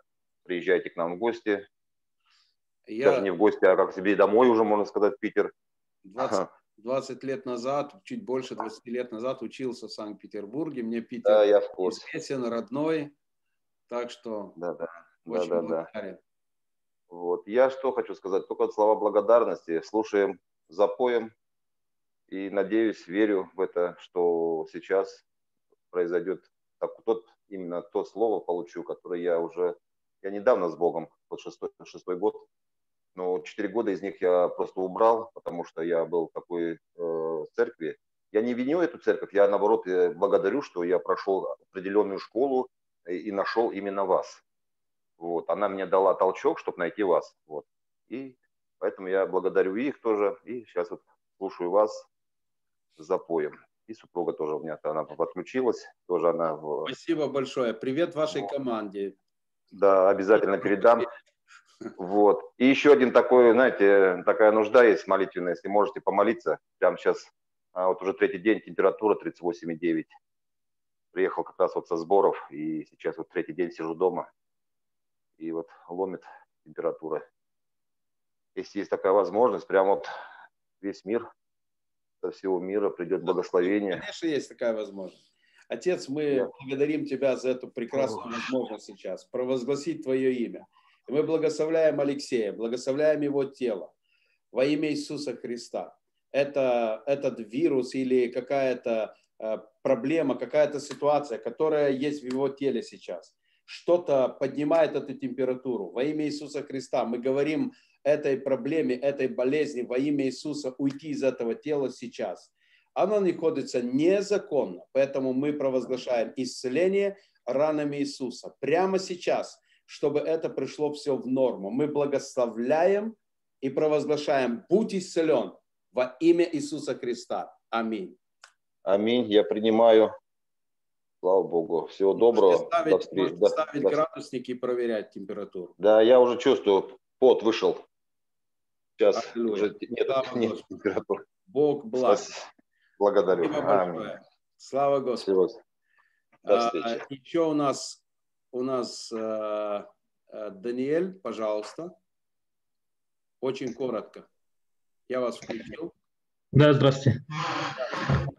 Здравствуйте. У меня ничего нету, но э, Эльмира руку поднимает вживую как бы на экран. Если вы, может, вы видите. Я не вижу. Она не знает, как просто поднять. Да, она вживую, то есть на, на камеру Эль, поднимает. Эльмира, вижу вас. Угу. Вы хотите, чтобы вас включить? Окей. Я вас включил. Алло. Да. Слышно меня? Да. Да, добрый вечер. Здравствуйте. Я хотела бы э, по, по школе, о, я из Баку, из Азербайджана, из столицы солнечного Азербайджана, надеюсь, все знают. Очень приятно. Я бы хотела, э, да, мне тоже очень приятно, я уже почти ну, год слушаю ваши проповеди, но Вопросов очень много, поэтому сейчас задавать не буду. И спорных. Сейчас только хотела сказать э, о ссылках в WhatsApp, чтобы потому что сегодня, например, в WhatsApp ссылки не было, и мне с Вайбера другие послали на WhatsApp ссылку в группу для того, чтобы войти, вот, э, чтобы без опозданий войти э, на учебу. Это раз. И во-вторых, может быть, вы забыли, я не знаю, и, во-вторых, еще насчет времени, потому что разница во времени тоже 10 часов, и я не знаю, кто-то там просил два раза в день, это, я не знаю, у кого-то будет глубокая ночь, у кого-то будет раннее утро, а хочется в прямом эфире, потому что живое общение лучше, чем записи, хоть что-то можно спросить в этот момент, записать, а в записи уже ничего не спросишь и не запишешь. Я бы вот эти моменты хотела бы, чтобы не пропустили, если можно. Спасибо большое.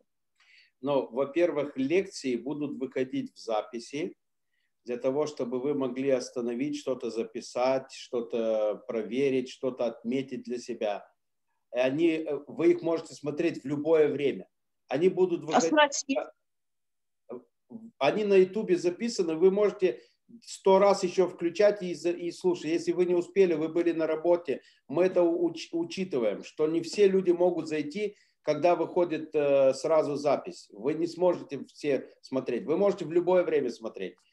А Zoom э, мы не можем ну, под, под какого-то одного подстроиться. Более-менее самое оптимальное – это вечер э, в Украине, в России – и утро у нас. У нас очень неудобно. У нас люди, вот Олег, э, я знаю из нашей церкви, может быть, пару человек еще э, с Америки. Люди сейчас у нас, э, у нас 12 часов дня, люди работают все.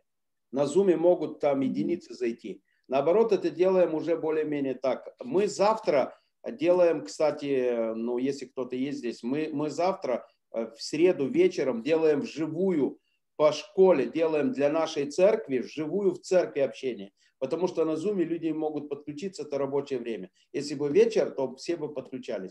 Я физически не успею сделать записи, записывать, готовить все программы и еще другие вопросы решать. И утром на Zoom, вечером на Zoom, везде со всеми. Я просто физически не успею, поверь. Я 6 часов работаю, сейчас 12.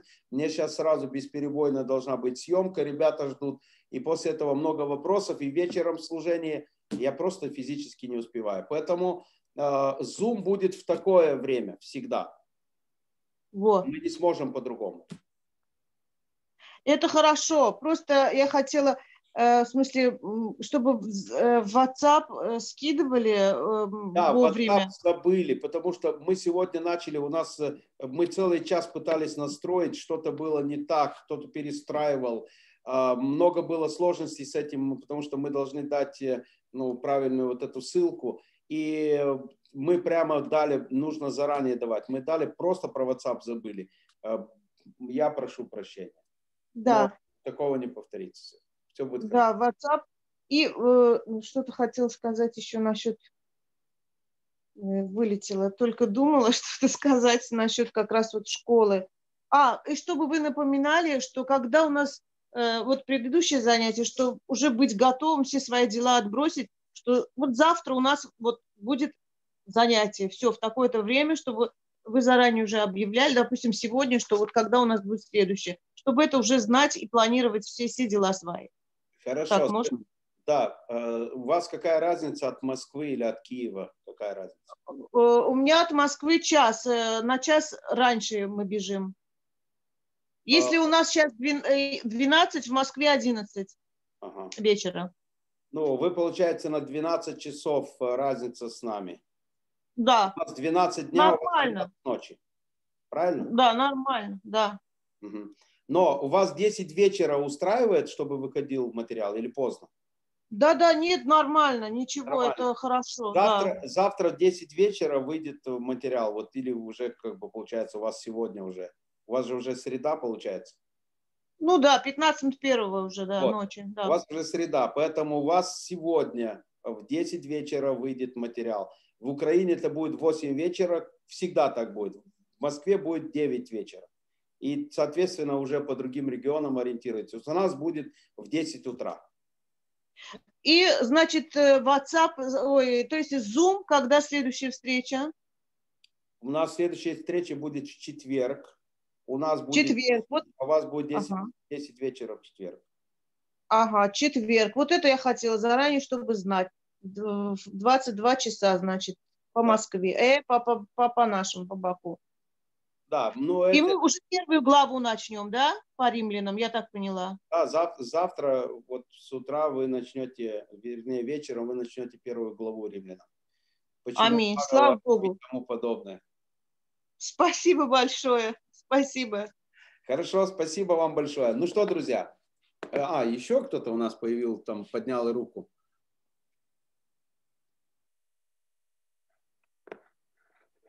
Ну, Завтра ребята, мы так не договаривались. Я не знаю, Марина еще, Александр Меркель. Ребята, если по минутке, еще три минуты, я вас включаю. Первая, Марина, да. минутка у вас, пожалуйста.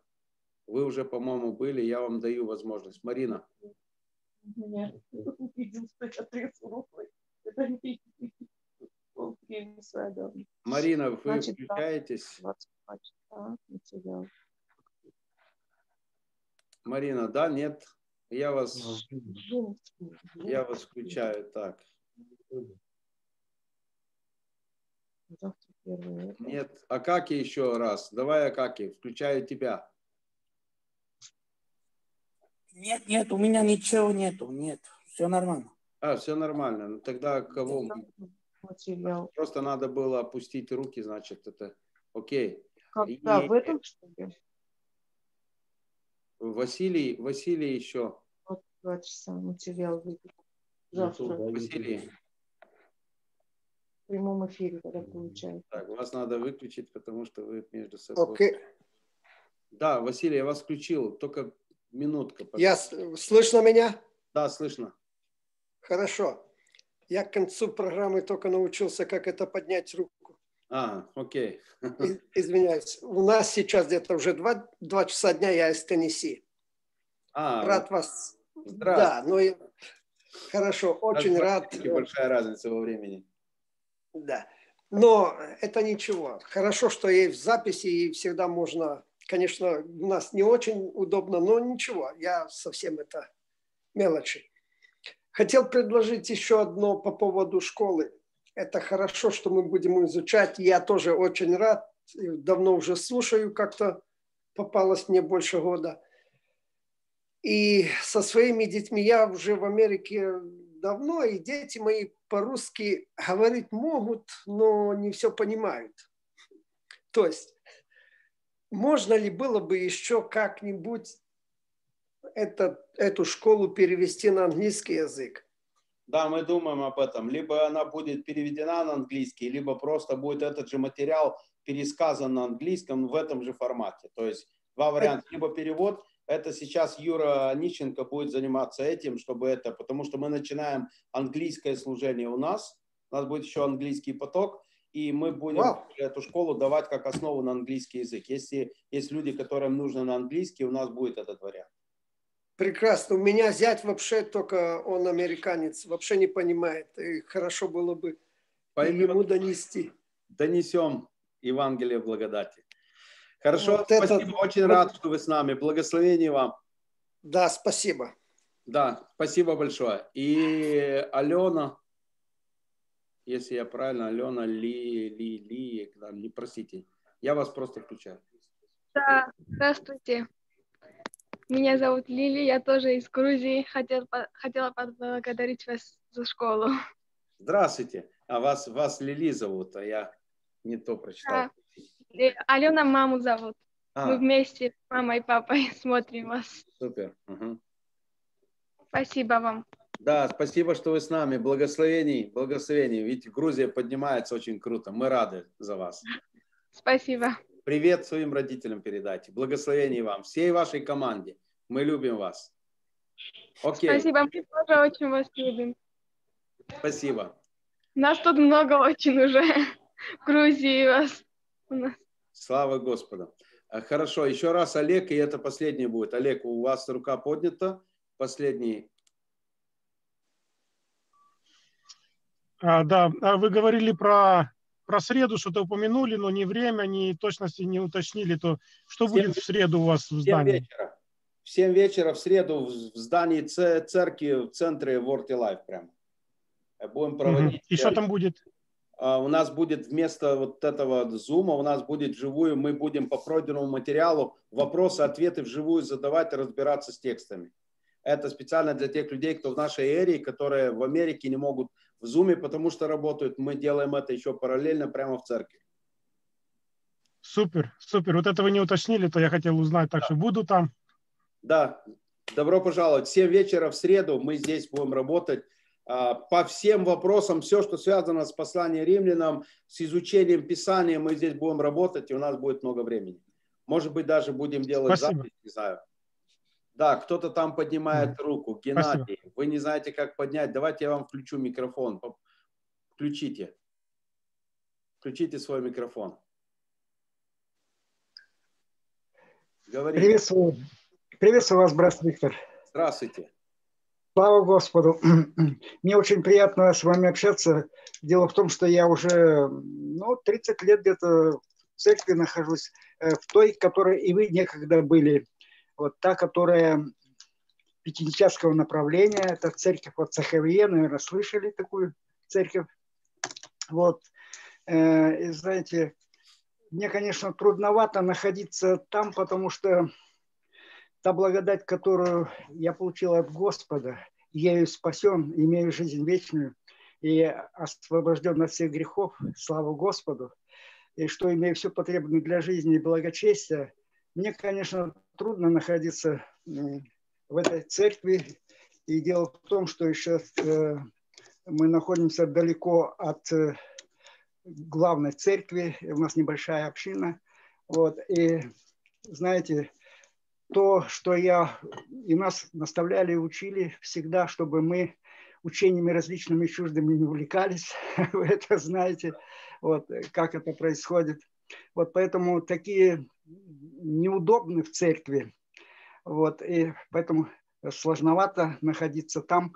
Вот, и хотелось бы, чтобы, знаете, вот то, что вы э, преподаете, вот, учение о благодати, это очень и очень важно. И как бы хотелось, вот лично мне, чтобы это было донесено, знаете, вот до таких церквей, подобных, в которые я нахожусь. Те, где учат э, и говорят, что мы должны быть святыми, творить правду, еще освещаться. Вот, и э, это трудно, потому что, знаете, я уже знаю, что такое благодать. Я это испытал уже много лет назад, слава Господу. И мне приходится вот так, знаете, подстраиваться как-то, вот, чтобы... Поэтому я бы хотел, чтобы вы это дело продолжали, чтобы это было донесено до всех до всех вот таких религиозных церквей. И это будет, я верю в то, знаете, что по благодати Божией будет то излияние позднего дождя, слава Господу, и когда церковь будет способна э, быть восхищенной на встречу, с Господом. Слава Богу. Это церковь благодати. Слава Аминь. Богу. Я в это верен. Аминь. Кто-то сказал, что только молодые типа верят. Ого, слава Господу, а? Мне, мне 77 лет. Фу, супер. Вот только начало. Хорошее начало у вас. Слава Господу. Нет, я давно верил, слава Господу, и давно верю в благодать спасительную, слава Господу, ибо я ей спасен, слава Господу. Но я вам уже сказал, что мне трудно, конечно, находиться в такой церкви с таким уклоном. Что, у вас есть большая церковь, вот она, правда, такая по, по интернету, большая-большая-большая церковь, и нас все больше и больше. В этот раз было 850 человек, в понедельник в онлайне смотрели школу, это о чем-то говорит. Э, поэтому все дальше. Бог нам сказал, будет миллиард. Так что у вас будет большая-большая-большая церковь. Слава Господу. Я, благослов... я благословляю, благословляю вас от именем Господа нашего Иисуса Христа. Слава Богу. Да благословит вас Господь. Спасибо. Мы любим вас. Любим всех, кто к нам присоединились. Слава Господу такие Вау. все родные, многие знакомые.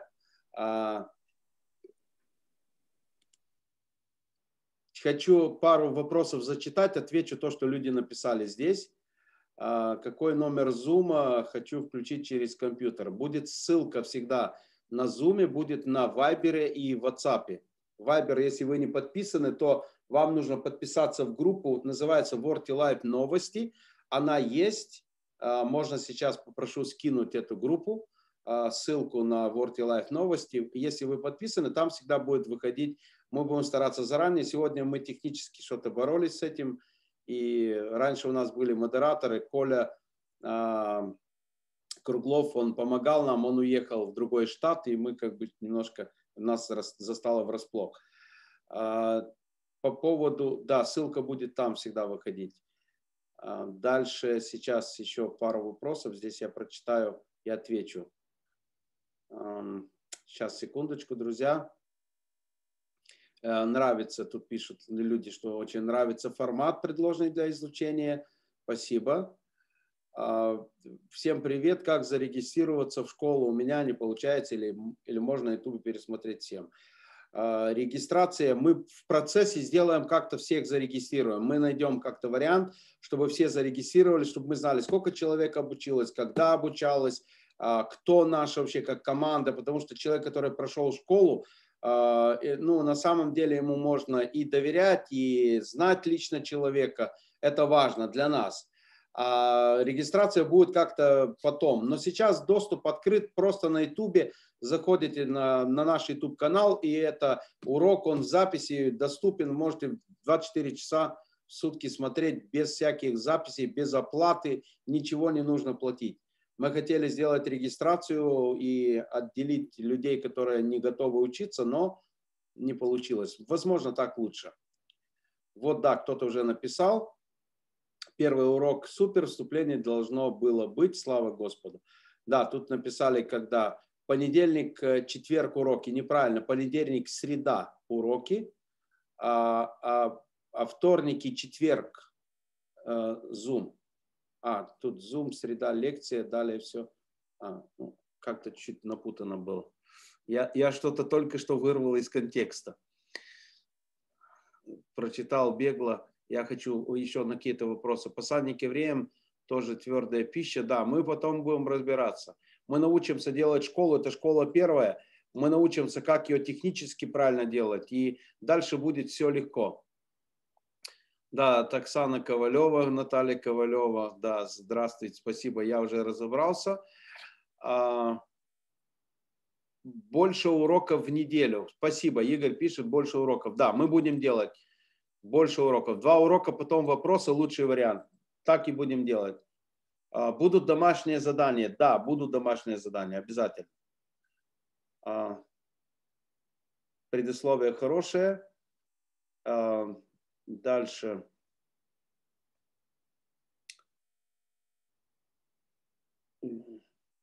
Друзья, много-много я, я хочу те, которые вопросы, э, на, просто вам зачитать и ответить то, что вы писали, чтобы э, есть просто благодарности. Я потом зачитаю благодарности.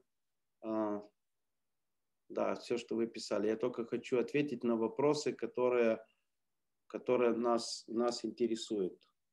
Господи, вы столько написали, я буду это читать очень долго. Нужны были мне модераторы помогать мне. Тут и объяснения, и все, что угодно. В чате круто, все записали.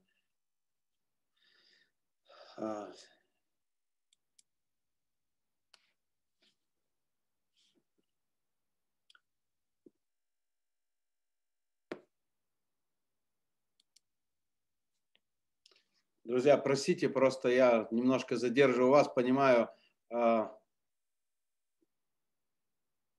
что вам нужно просто ответить на те вопросы, которые, возможно, вы написали и важно. Молитва за исцеление, мы помолились. Да, и у кого еще какая-то проблема, мы за всех. Так, кто-то еще написал. И я видел какие-то вопросы. А, кто-то написал, где находится наша школа. Я попросил а, выставить, э, да, вот есть ссылочка в конце, увидите, ссылка на Viber, можете нажать эту ссылку или скопировать у себя, и вы попадете на Viber. Да, и WhatsApp нужно скинуть. Да, и WhatsApp есть. И WhatsApp скинули. Есть WhatsApp, есть номер на Viber и еще просили адрес церкви. Есть адрес церкви, Борти Life, где мы находимся вживую. Кто-то просил, чтобы кому-то передать. Пожалуйста, вот этот адрес можете скопировать. У нас э, служение в воскресенье в, в 11 утра, а в среду в 7 вечера, в пятницу в 7 вечера. Ну и остальные дни мы полностью здесь работаем постоянно. Мы, у нас тут и встречи проходят, и и школа, и все остальное. Хорошо, вроде бы я думаю, что ответил, остальное было просто... Э, да. Друзья, всем благословений, всех обнимаю. Благодати вам, терпения. Э, все будет хорошо, все будет интересно, будет жарко. Сегодня так, мы просто друг друга подбадривали, говорили, общались. А завтра, послезавтра, то есть я думаю, что начнется дискуссия, э, начнется такая хорошая рабочая обстановка, где мы будем рассматривать те или иные тексты. Потому что первая глава – это еще полбеды. Дальше вообще будет интересно. Хорошо. На этом мы закрываем наше общение. Был рад всех видеть, пообщаться с вами. Э, все, все такие счастливые, прекрасные. У кого-то два часа ночи все равно веселые. Это только может сделать благодать и жажда по Божьему Слову. Мы любим вас, благодати вам всего наилучшего. Ждите урока, он начнется в 10 часов по нашему времени, 8 вечера среда, 8 вечера по Киеву, 9 вечера по Москве. И по Грузии, да, там у вас было 12, э, э, да, 10, 10 вечера у вас будет. Всем благословений, всем пока-пока.